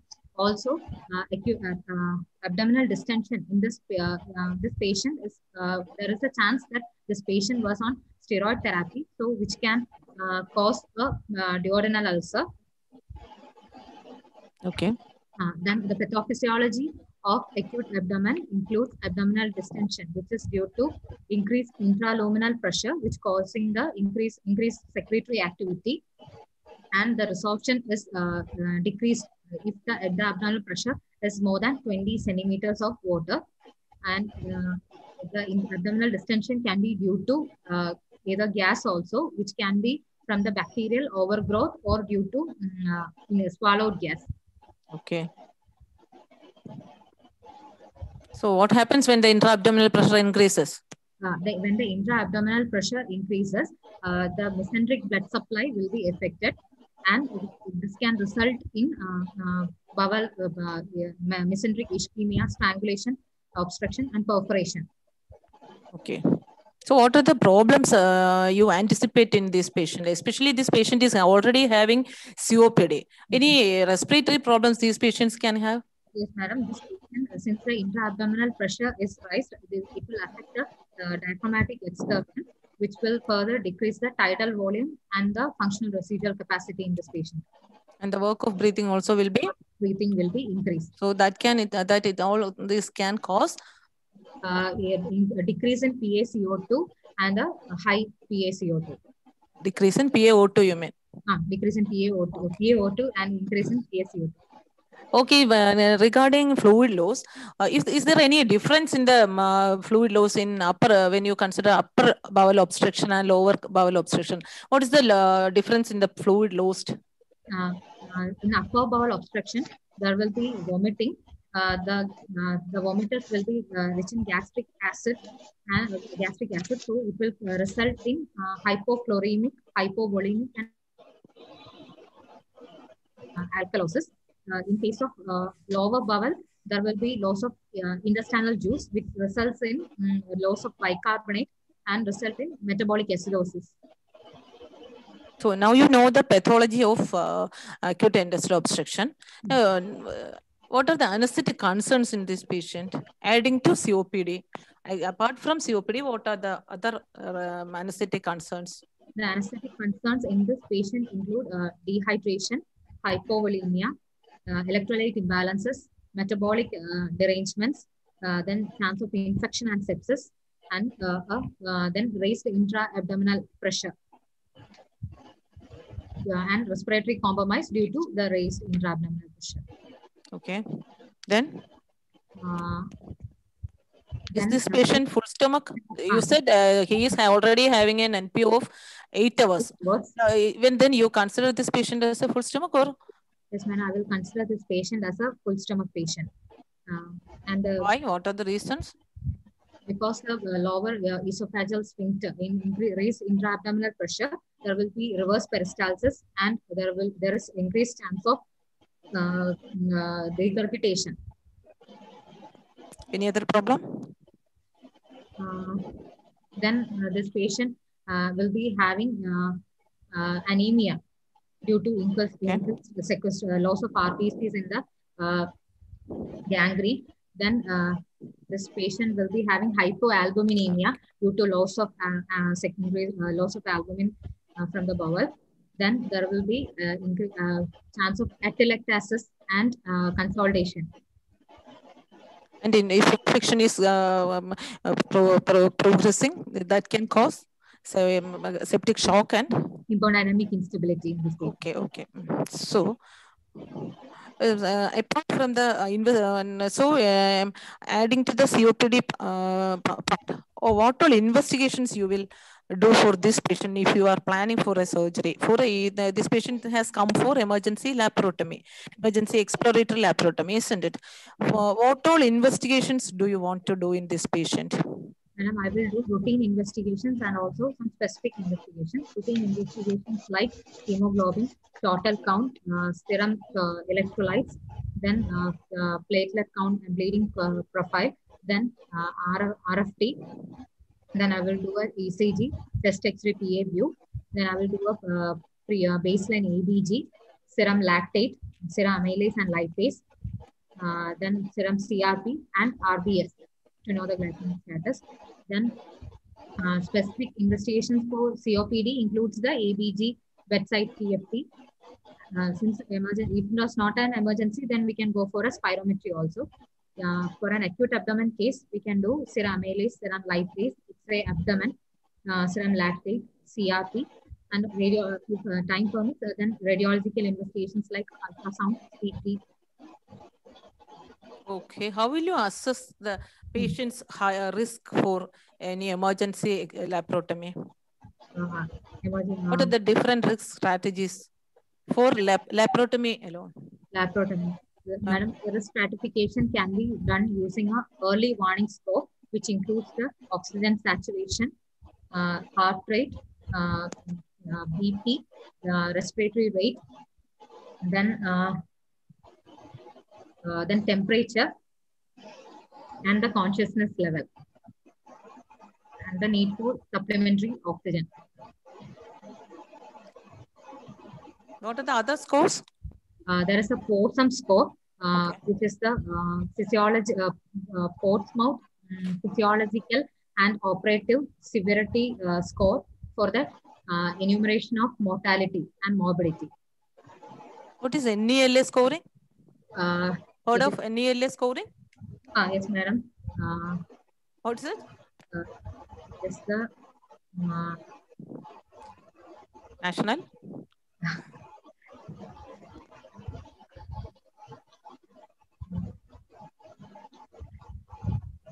I'm not getting. National Exploratory Laparotomy, uh, Emergency Laparotomy Assessment. Okay. Okay. Oh, leave it. Now we want to optimize the patient, isn't it?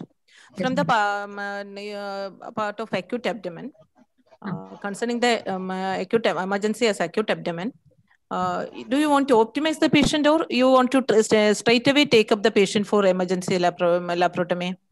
Uh, madam, uh, I will consider optimization. I have, and there are certain goals for optimization in an acute abdomen. Is optimization necessary for this patient?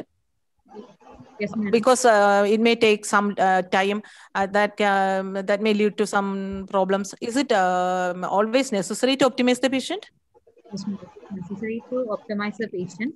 Okay so it improves the postoperative outcome and uh, uh, proper optimization improves the patient outcome uh, postoperative uh, uh, morbidity re- reduces the postoperative morbidity and reduces the hospital stay. So in all ca- cases at, as far as possible you should optimize the patient. And coming coming to the optimization process what are the why can you enumerate the uh, um, points where you want optimization? And this patient means the fluid resuscitation what type of fluid or how much you will give like that?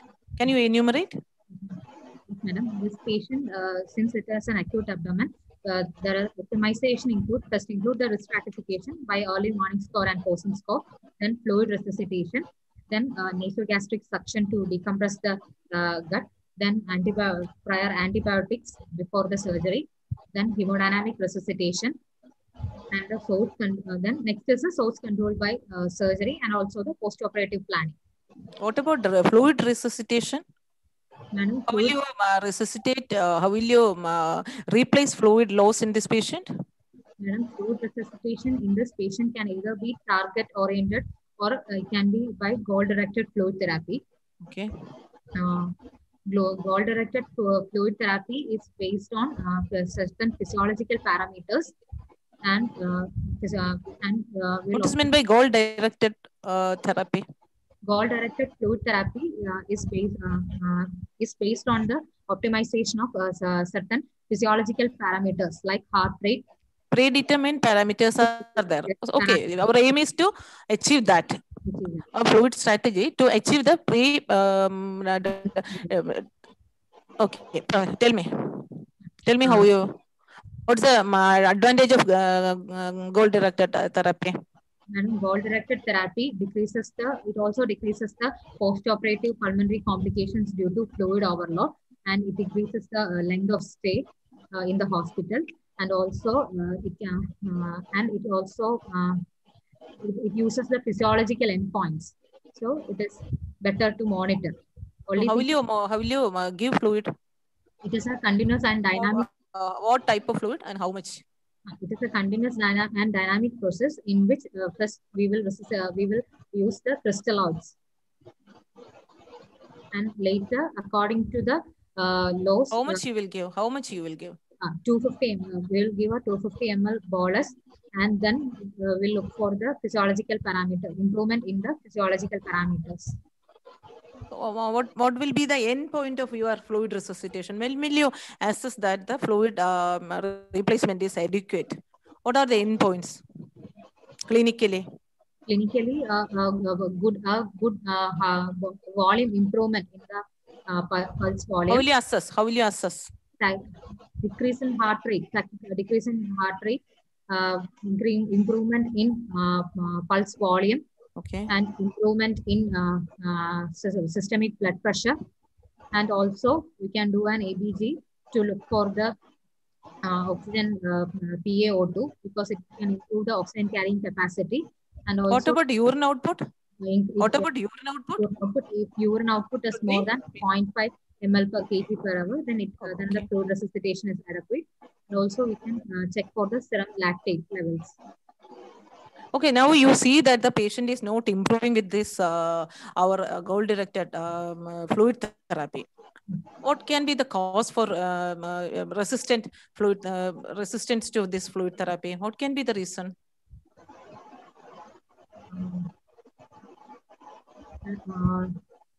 This patient is not responding to your fluid therapy. What can be the reason? Then it is uh, mostly due to then uh, the Maybe the patient is going for septic shock, isn't it? So how will you, uh, if there is a hemodynamic instability, what, uh, which all drugs you will use? and I will use norepinephrine. norepinephrine. What's the Uh, action of norepinephrine in this case? it, it has both alpha and beta action. It Okay, cau- so what is the advantage? uh, then it causes vasoconstriction. It causes vasoconstriction and increase the uh, peripheral vascular resistance and improves the uh, Contractility is also increased, isn't it? Okay, also okay. Uh, uh, what are the, um, which all other drugs you will use? Any other? If the if the if the, if the patient uh, uh, is not responding, we can add on adrenaline and uh, vasopressin. Uh, if the if the patient is having a uh, ca- cardiac cause, then we can either use use dobutamine. Okay. So uh, any other uh, point in optimization? You can continue 100% oxygenation. Hundred percent. Okay. So the uh, by optimization, what we mean is if the, uh, the you have seen the patient and you uh, you are going to um, uh, uh, um, investigate the patient, and by the time you take blood flow for sample and optimizing the patient, the results will come, and by this time you can you will get enough time for optimization, both the respiratory status and and the general condition of the patient can be optimized. Okay. Uh, to, uh, Dr. Linette, can we go to the anesthesia part? Yes. Uh, Dr. Surayya, is, is there anything, any problem? Madam, I was just uh, the charge was just going to I just connect. Can you, we- can we continue? Yes, ma'am. So this patient is posted for laparotomy. Okay. Madam. So you said you'll do an X-ray. Now, can you tell me what are the um, findings in X-ray you get in a COPD patient? Madam, uh, the X-ray of a COPD patient, there will be hyperinflation. Then there can be uh, Hyperinflated lung fields. lung, fields. Then there will be straightening of the ribs, and there will be a widening of the in, uh, uh, in the in, uh, there will be widening of the spaces between uh, Intercostal space. inter- intercostal space. Uh, then the if the, there is features of uh, pulm- pulmonary artery hypertension, then the main pulmonary artery will be uh, uh, enlarged. Then Size of the heart. Heart size. size of the heart, heart, heart will be tubular. Tubular heart size. tubular. Okay. You like to do an ECG for this patient? Yes, madam, I would like to do an ECG because uh, uh, COPD patient can have uh, P pulmonale due to right atrial enlargement and right ventricular hypertrophy. And also there will be right ventricular strain pattern. And uh, the uh, Q, uh, QRS complex will be of low amplitude. Then there can be right ventricular features of right ventricular hypertrophy. That is V1 R by S ratio will be more than 1. Okay. There will be T inversion So- and ST depression. So presuming that uh, now we are proceeding with the laparotomy, what's your plan of uh, plan of management, anesthetic plan? Anesthetic plan. Uh, madam, I, uh, I'm planning to do a GA uh, with rapid sequence induction uh, with controlled ventilation and then uh, with a thoracic epidural anesthesia. Thoracic epidural block. Thoracic epidural for pain relief, right? Yes. Okay. So what are the problems of, uh, what are the advantages of GA and what are the disadvantages of GA when you administer anesthesia for such a patient? What are the advantages? advantages of uh, GA, uh, madam, this patient uh, being an acute abdomen case, uh, the, it will be a prolonged surgery. If the surgery is taking uh, more hours, then uh, the patient needs to lie supine uh, for, for more hours in case uh, without sedation in case of a uh, regional anesthesia. In GA, the patient anxiety will be reduced, and also there will be uh, uh, we can control the ventilatory parameters. Very good. Control of ventilation, control of PaO2, control of PaCO2, no? Control of compliance, resistance of the airway, all these factors can be controlled. So what are the disadvantages of GA? Disadvantages of GA is this uh, the endotracheal tube being uh, irritant. We can uh, uh, it can promote it can uh, provoke a intra bronchospasm. Can you tell me some perioperative events which will trigger a laryngospasm or bronchospasm in these kind of patients? Madam, already existing uh, inf- uh, infection. Then Okay. uh, then cuff, cuff with sputum already existing. Some perioperative events, perioperative events, Yes, Okay, madam. which uh, can it- trigger a laryngospasm. Common, no? For a COPD patient coming, you're giving GA, certain that certain events can trigger. So you should avoid those situations or you should try to attenuate the those situations. Can you tell me what events will trigger? uh, a light plane of anesthesia can trigger. Okay, light plane of anesthesia starting. Madam. Starting from induction, what all uh, things can in cause uh, bronchospasm or um, problems? Starting from Any induc- induction. Any any any Period mean including uh, an induction, no, not only intraoperative period. Okay. Ah, yes, madam. starting from induction. Uh, if the uh, if the endobronchial if the intubation uh, happens to be an endobronchial intubation, uh, there can be uh, chance, there is a chance for bronchospasm. Then a light plane of anesthesia can cause uh, bronchospasm. Then uh, during surgery, a bowel pack. Uh, then mm, intubation, suctioning? Suction, ah. then light plane of anesthesia, then then what else? Endobronchial intubation, bronchial intubation, then pneumothorax. bevel touching onto the wall of the bronchial uh, bronchial wall. intra intra uh, pneumothorax, intra of pulmonary edema, So what's the induction agent of choice for this patient? Now I would prefer propofol. What is the advantage of propofol? What's the disadvantage of propofol? Madam, propofol, uh, it can, uh, it has a bronchodilatory action, so uh, I would prefer propofol. But the uh, disadvantage, Which has got a bronchodilatory effect. It uh, reduces the stress response. It's a rapid onset of action. Mhm. Then, what's the disadvantage? Madam, uh, if in, uh, I'm planning for a, if I'm planning for a rapid sequence induction, then I will, uh, I, I need to give a calculated dose of propofol, where in, where in case uh, there, there can, there is a chance for hypotension. Yes. So induction with the propofol then. Induction, What drugs you like to avoid in this patient? I would like to avoid thiopentone in this patient. Uh, Why thiopentone to be avoided? because it can cause bronchos. It has a uh, yes, uh, bronch. It, it, it provokes bronchospasm due to its histamine releasing property. stimulated in light plane of anesthesia. Okay. Hmm. Okay. Then I would like to avoid atracurium because it also has a uh, uh, histamine releasing property. Yes. Any other drug?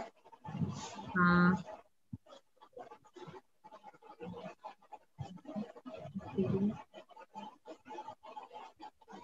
Any other drug which causes histamine release other than atracurium, which can which should be avoided in COPD patients?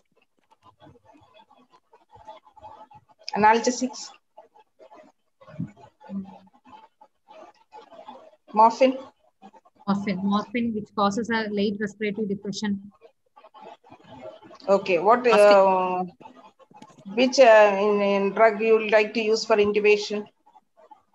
For intu- madam, for uh, intubation, I would like to use propofol. Uh, Induction propofol, induction rapid propofol, sequence induction using prop- propofol, propofol, dexamethasone. Yes. And and also fentanyl, what's the role of lignocaine? Any role for lignocaine? IV lignocaine? IV lignocaine. It also uh, helps. It helps to uh, helps in the treatment of bronchospasm, and also it attenuates the stress response. What dose? One to one point five milligram per kilogram, Given when? given ninety seconds before intubation. Okay. And uh, what um, muscle relax neuromuscular blockade is achieved by long acting?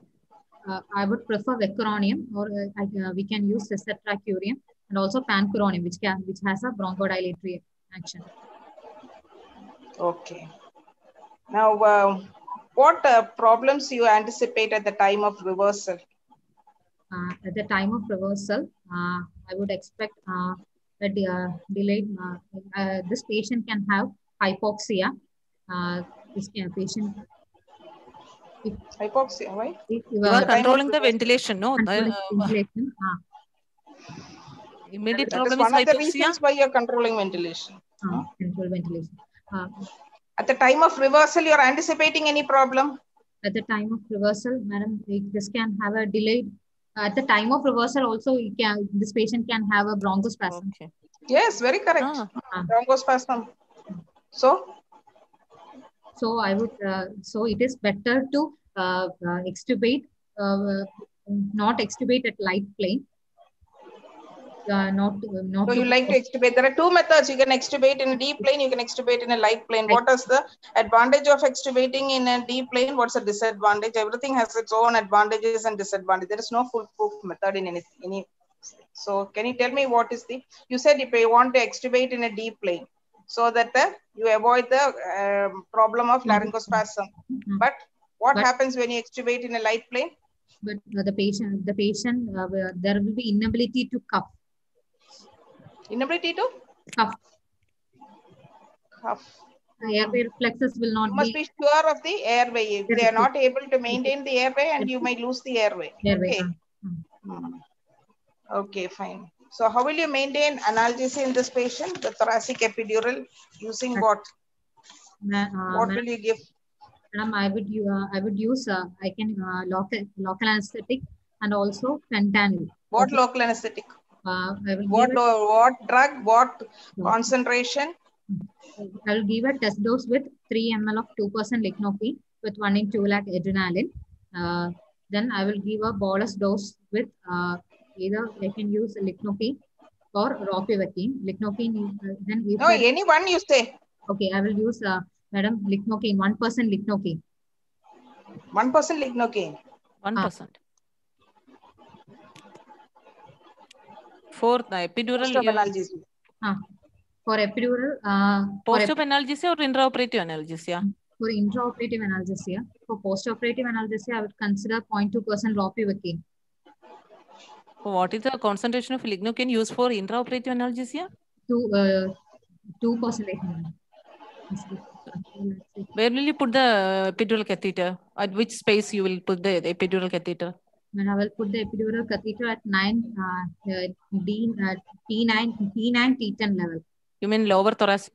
Lower will thoracic. choose. Mm, yes, Okay. Is it? Up to which level, dermatome level you want analgesia uh, for the uh, upper abdominal procedures? Madam, I would uh, need a uh, analgesia till T4 level Okay. this patient. Uh, So at, uh, if you uh, enter it through uh, the T nine space of nine and ten, uh, how much uh, um, uh, how um, uh, much length of the epidural catheter will be inside in, inside the extradural space? Madam, since it is a lower thoracic uh, uh, epidural, uh, the yes, uh, distance from the skin will be uh, less, that is approximately 3.5 centimeter. And uh, and uh, to achieve a uh, T, uh, T, achieve a block till T4, I need to the tip, uh, I need the tip to be at T6 for the incision. For, uh, in, uh, inci- for this incision, so I, I need to keep uh, almost 10 centimeter of the epidural catheter inside the uh, inside. Extradural space. Isn't it? Okay, coming back to the madam's question, what is the uh, concentration? 2%. You said 2%, isn't it? Okay. What method you will um, uh, use to identify the space? Is it loss of resistance method or what is the method? Uh, One more question. One more question. Will you um, uh, put an epidural cath- catheter after the after inducing the patient or um, uh, before induction? When will you I will, I will you will, put the epidural catheter? I'm planning to put the epidural catheter after induction Why?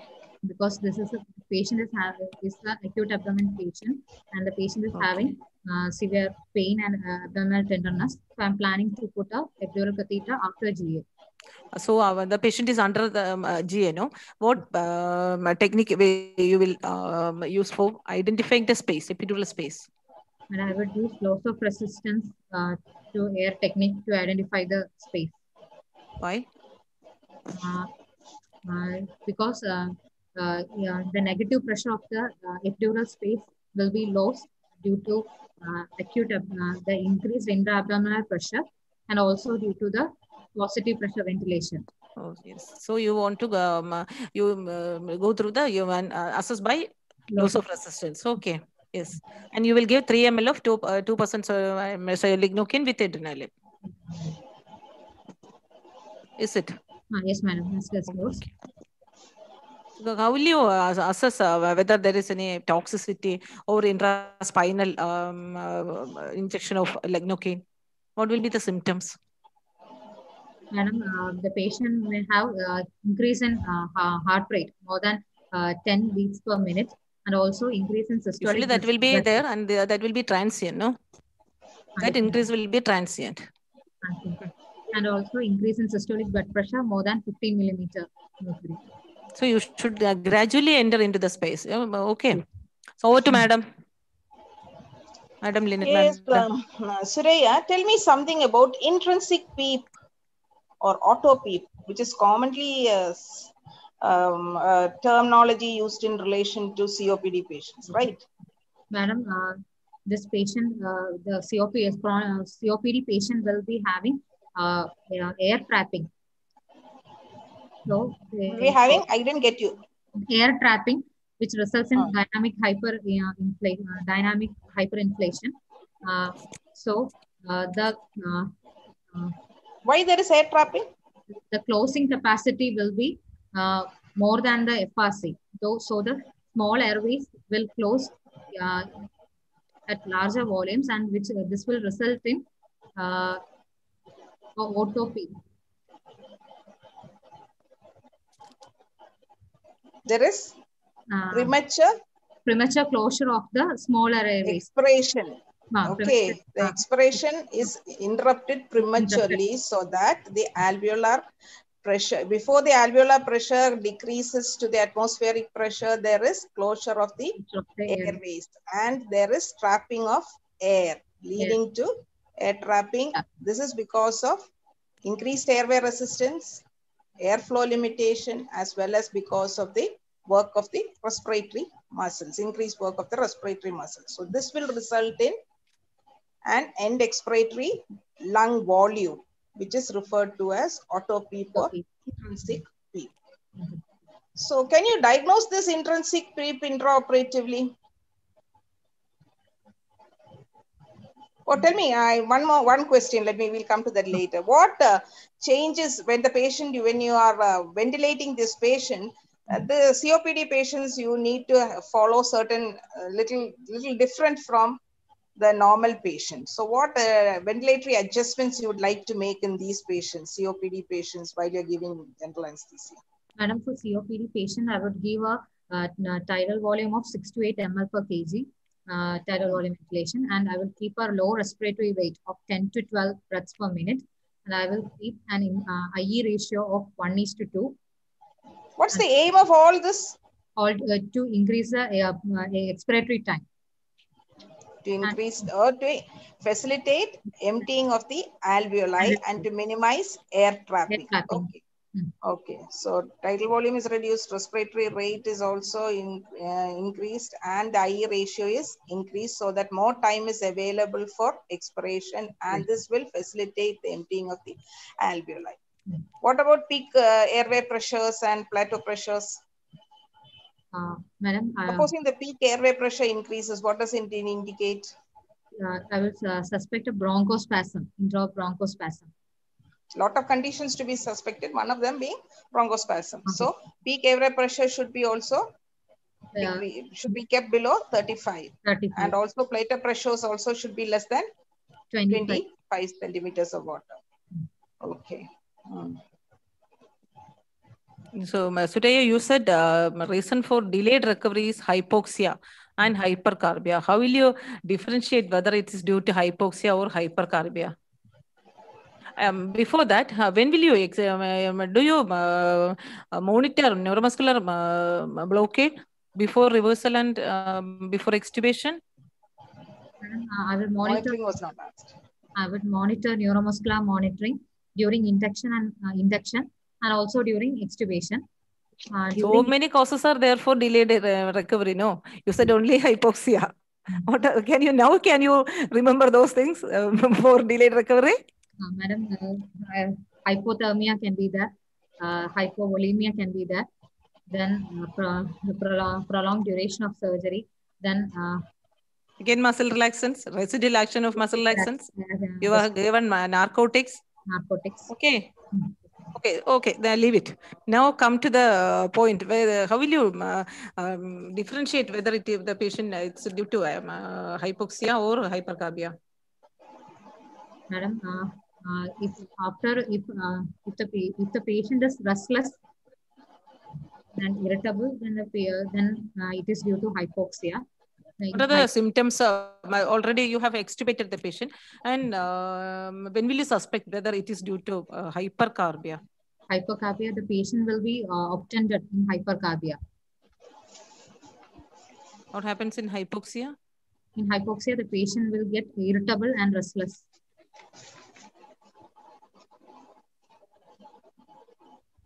At um, uh, hypercarbia, uh, before that, the patient will be lethargic, patient will be having confusion, agitation, and uh, then the patient will be obtunded. So we will think that the patient is calm because of uh, um, uh, of uh, carbon dioxide tension like that, isn't it? So the patient will be obtunded with with high PCO2, isn't it? Okay.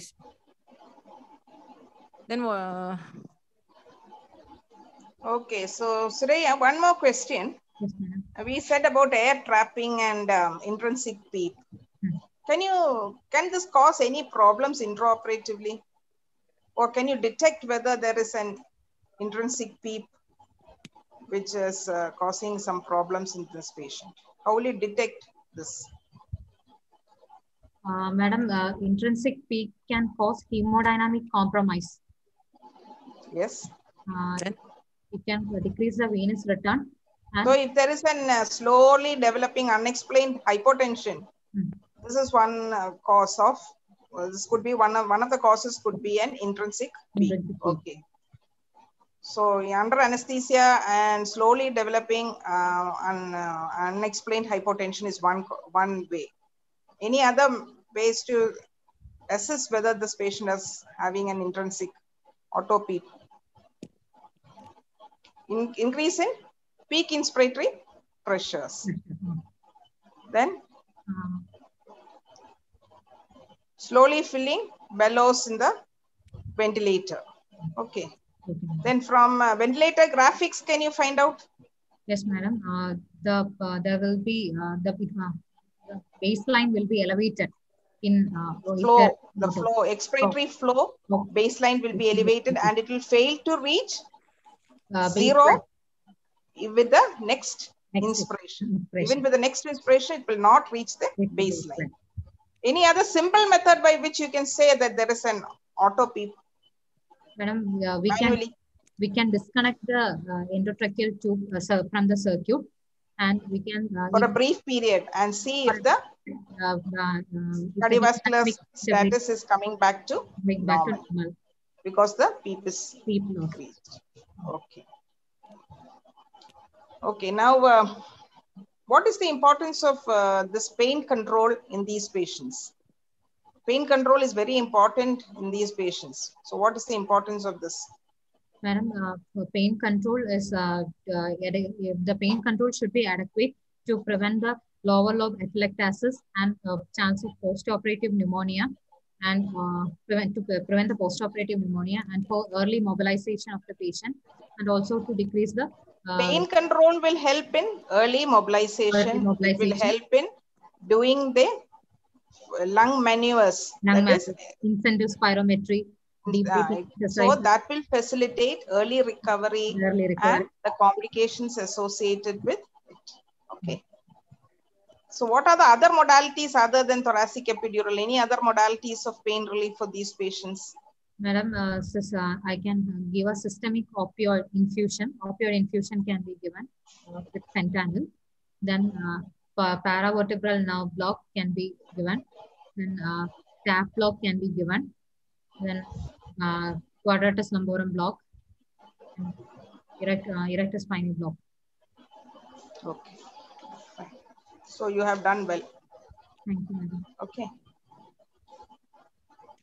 Sobha, any other questions? Uh, suppose, uh, Surya, the, the, you said uh, intraoperative bronchospasm. Now you uh, you see that in, in between the procedure, you see that the, you are it's very difficult to ventilate the patient. Uh, what are things you will do? You, you said about different causes for um, this type of uh, um, condition, and you suspect that this is due to bronchospasm. What are things you will do? Madam, uh, uh, I will, yeah, I will uh, change to 100% oxygen. Then I will deepen the plane of, I will deepen the plane of anesthesia. Then Okay. uh, if a muscle relaxant is due, I will give a muscle relaxant. Uh, then if the, if the surgeon has kept any bowel pack, I will ask the surgeon to remove the bowel pack. And also I will ask the surgeon to uh, briefly stop the surgery. Uh, then uh, then I uh, then I will give a sterile tube suction. Uh, then uh, After, before giving the sterile suction, what you should ensure?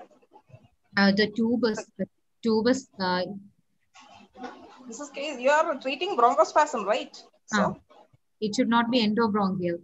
The tube should no, no. You should deepen the plane of anesthesia. Make sure that the plane of anesthesia is deep. deep, Then only you do your suction. Otherwise, that itself can. uh, provoke bronchospasm. Yes. Uh, then, Uh, uh, then I will give. Uh, so then I can. Uh, uh, if if if bronchospasm is uh, controlled, okay. Uh, if not uh, controlled, then I will go to subcutaneous terbutaline or uh, so- san- med- uh, or What is the dose of aminophylline? uh, madam aminophylline 5 to 7 mg per kg bolus dose followed by 0.5 to 0.7 mg per kg per hour infusion. What is the problem with aminophylline? Madam, it can uh, cause cardiac dysrhythmias and it can also uh, lighten the plane of anesthesia. And, And you look for any, um, uh, whether the BP is um, uh, normal or um, uh, you look for BP. If there is associated hypertension, you should uh, give very slowly. Okay. And it can cause tachycardia also. Okay. Uh, Suppose you suspect, uh, now you auscultate both sides, the sp- spasm is not relieved. You auscultate bi- bilaterally and you see that there is um, air entry on one side is uh, reduced. What all things you will look for and what will you do? Madam, uh, I would suspect a pneumothorax uh, if air entry on one side is decreased. Then uh, I would do a mm, needle crico- cricothyroid, thyroid, needle, cri- mm, needle uh, th- thoracotomy on the second space, uh, so at the mid in the mid clavicular uh, position. Uh, and I will see whether there is pneumothorax. If I, uh, if I diagnose pneu- pneumothorax, then I would uh, uh, ask the surgeon to put the intercostal uh, drainage in the Where will you put the intercostal drain? uh, fifth intercostal space in the mid-axillary line, triangle of sleep. There will be associated hyper cardio hemodynamic instability also, isn't it? Okay. Surayya, one more question. What's the role of nitrous oxide in patients of COPD? Madam? use of nitrous oxide in COPD patients? Madam, nitrous, if, if the uh, uh, COPD patient, uh, Loudly, loudly. if the COPD uh, patient, uh, in a COPD patient, if you are using nitrous, it can cause uh, uh, expansion of the uh, well, bullae, if, if any bullae is present, and it can uh, itself result in pneumothorax. Anything else? Uh, and also, uh, it can increase the uh, airway pressures uh, due to pneumothorax. Raise, Patient has cor pulmonale, what happens? uh, yeah, it can increase the pulmonary artery pressure. Can cause pulmonary. PVR can be increased. Pulmonary vascular resistance can be increased. Anything else? Uh, Administration of nitrous oxide will uh, decrease the uh, abolish the hypoxic pulmonary uh, vasoconstriction. vasoconstriction. That also can be abolished. Anything else? Uh, It can in, uh, decrease the inspired oxygen concentration which is being delivered because of the high flow of nitrous oxide. Okay, so now normally for thoracotomies, nitrous oxide is not to be used. Okay, fine. Okay, done well. Done well, Surayya. Thank you, madam. Okay. Uh, Surayya, you are done well. Uh, there is a question in, uh, you are done ec- well, excellent. Uh, uh, there is a question in the chat box. Uh, the steps to prevent uh, deep vein thrombosis. Do you think these patients are uh, highly prone for deep vein thrombosis? Uh, if so, what steps will you do to prevent the deep vein thrombosis? There's a question from uh, Dr. Vijish. the, the, thora- the thoracic epidural block, which provides a uh, ex- ex- excellent post-op analgesia, can uh, uh, help in preventing the deep vein thrombosis. And also in the post-operative period, uh, we can uh, give sequential compression devices. Then early mobilization of the patient. So, can you start these physical, physical measures in the interrupted period itself? Yes, yes sir. The uh, sequential compression devices can be uh, used intraoperatively also. And what about low molecular heparin? Uh, yes, sir. Low molecular weight heparin can also be started in the uh, post-operative period after coming hemostasis, after confirming hemostasis. But uh, but the thing, uh, but uh, we have a patent in uh, epidural block, so it is Okay. Why do you say that these patients are more prone, very prone for DVT? Uh, so uh, in acute abdomen case uh, after an ab- abdominal surgery.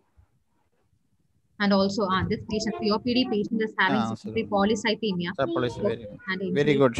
Increased blood viscosity. So they are more prone for deep vein thrombosis. And there are uh, senior faculty members, uh, Dr. Mubarak, uh, Mubarak sir, Sarama Abraham, and Dr. Baburaj. Mubarak sir, any Baburaj, Dr. Baburaj or uh, Dr. Sarama Abraham, Madam, any comments? Raj- Mubarak, Rajesh- sir. uh, Rajesh, uh, good evening. Uh, Dr. Surayya has been bombarded with questions for more than one and a half hours by two, two HODs and as well as Rajesh. Uh, I think it is, it is not nice. and she has done well and uh, the discussion was very exhaustive. I would like to add the role of nitrous oxide last uh, during the last session. Um, Dr. Linette was asking, uh, can she explain the role of nitrous oxide in abdominal surgeries? Any problem, uh, at least theoretical? So we can cause, in case of intestinal obstruction, uh, this can cause expansion. Uh, The nitrous can cause the uh, cause expansion of the air spaces, and uh, so it is uh, mm, uh, it causes in uh, bowel distension. Uh, it's, a, it's a relative contraindication is there. So I, I think Linette madam was aiming for that, asking again, again, what, what else, what else? I, thought, I thought you'll be answering that. okay, she has done well, and uh, I. Yeah. So nice. And another thing, um, uh, this for discussion, this is okay for one and a half hours, but for exams, you have to condense everything to less than to thir- maximum 30 minutes or 45 minutes at, at the most. So you can't uh, expect this much of questions, and since since you have answered very well all the sessions, I think you will be you will be a very good candidate for exams. And she has answered uh, almost, Almost all the everything. sessions very well, uh, and very uh, well well, well done, Dr. Sur- Sur- Surayya. Okay, thank you, Rajesh. Okay, sir. So, uh, Surya, you have done really well. And so, Dr. Binil, she'll be given Yes, sir. certificates, no? We should give a certificate after this uh, Yeah. long session. Yeah. she has faced uh, three HODs very well. Yeah. Mubarak sir was also there.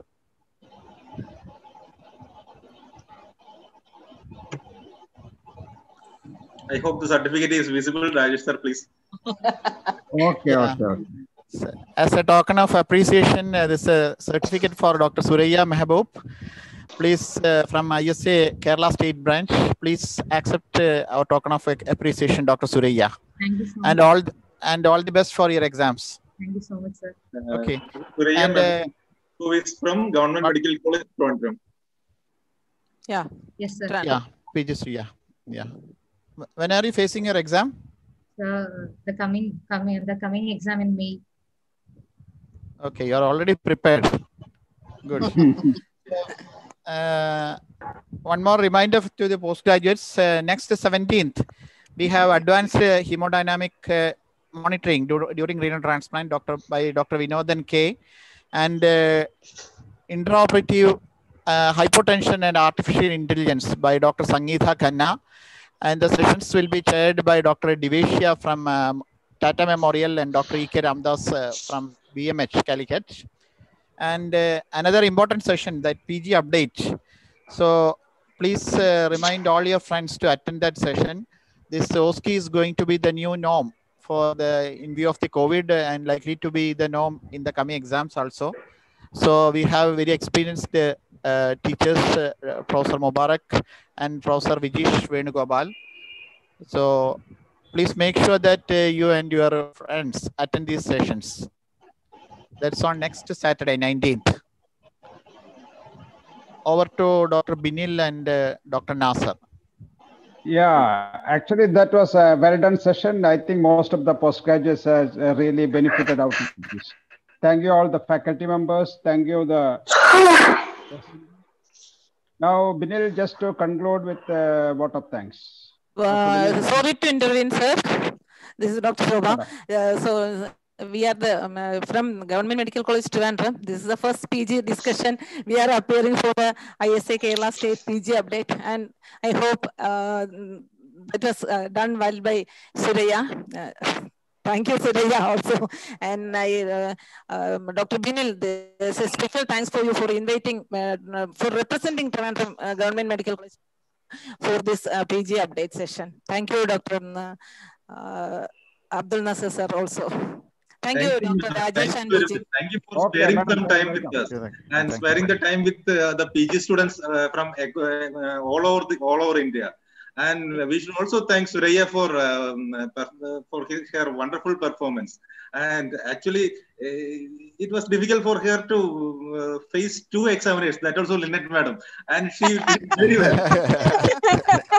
she was also very concerned about in between, uh, uh,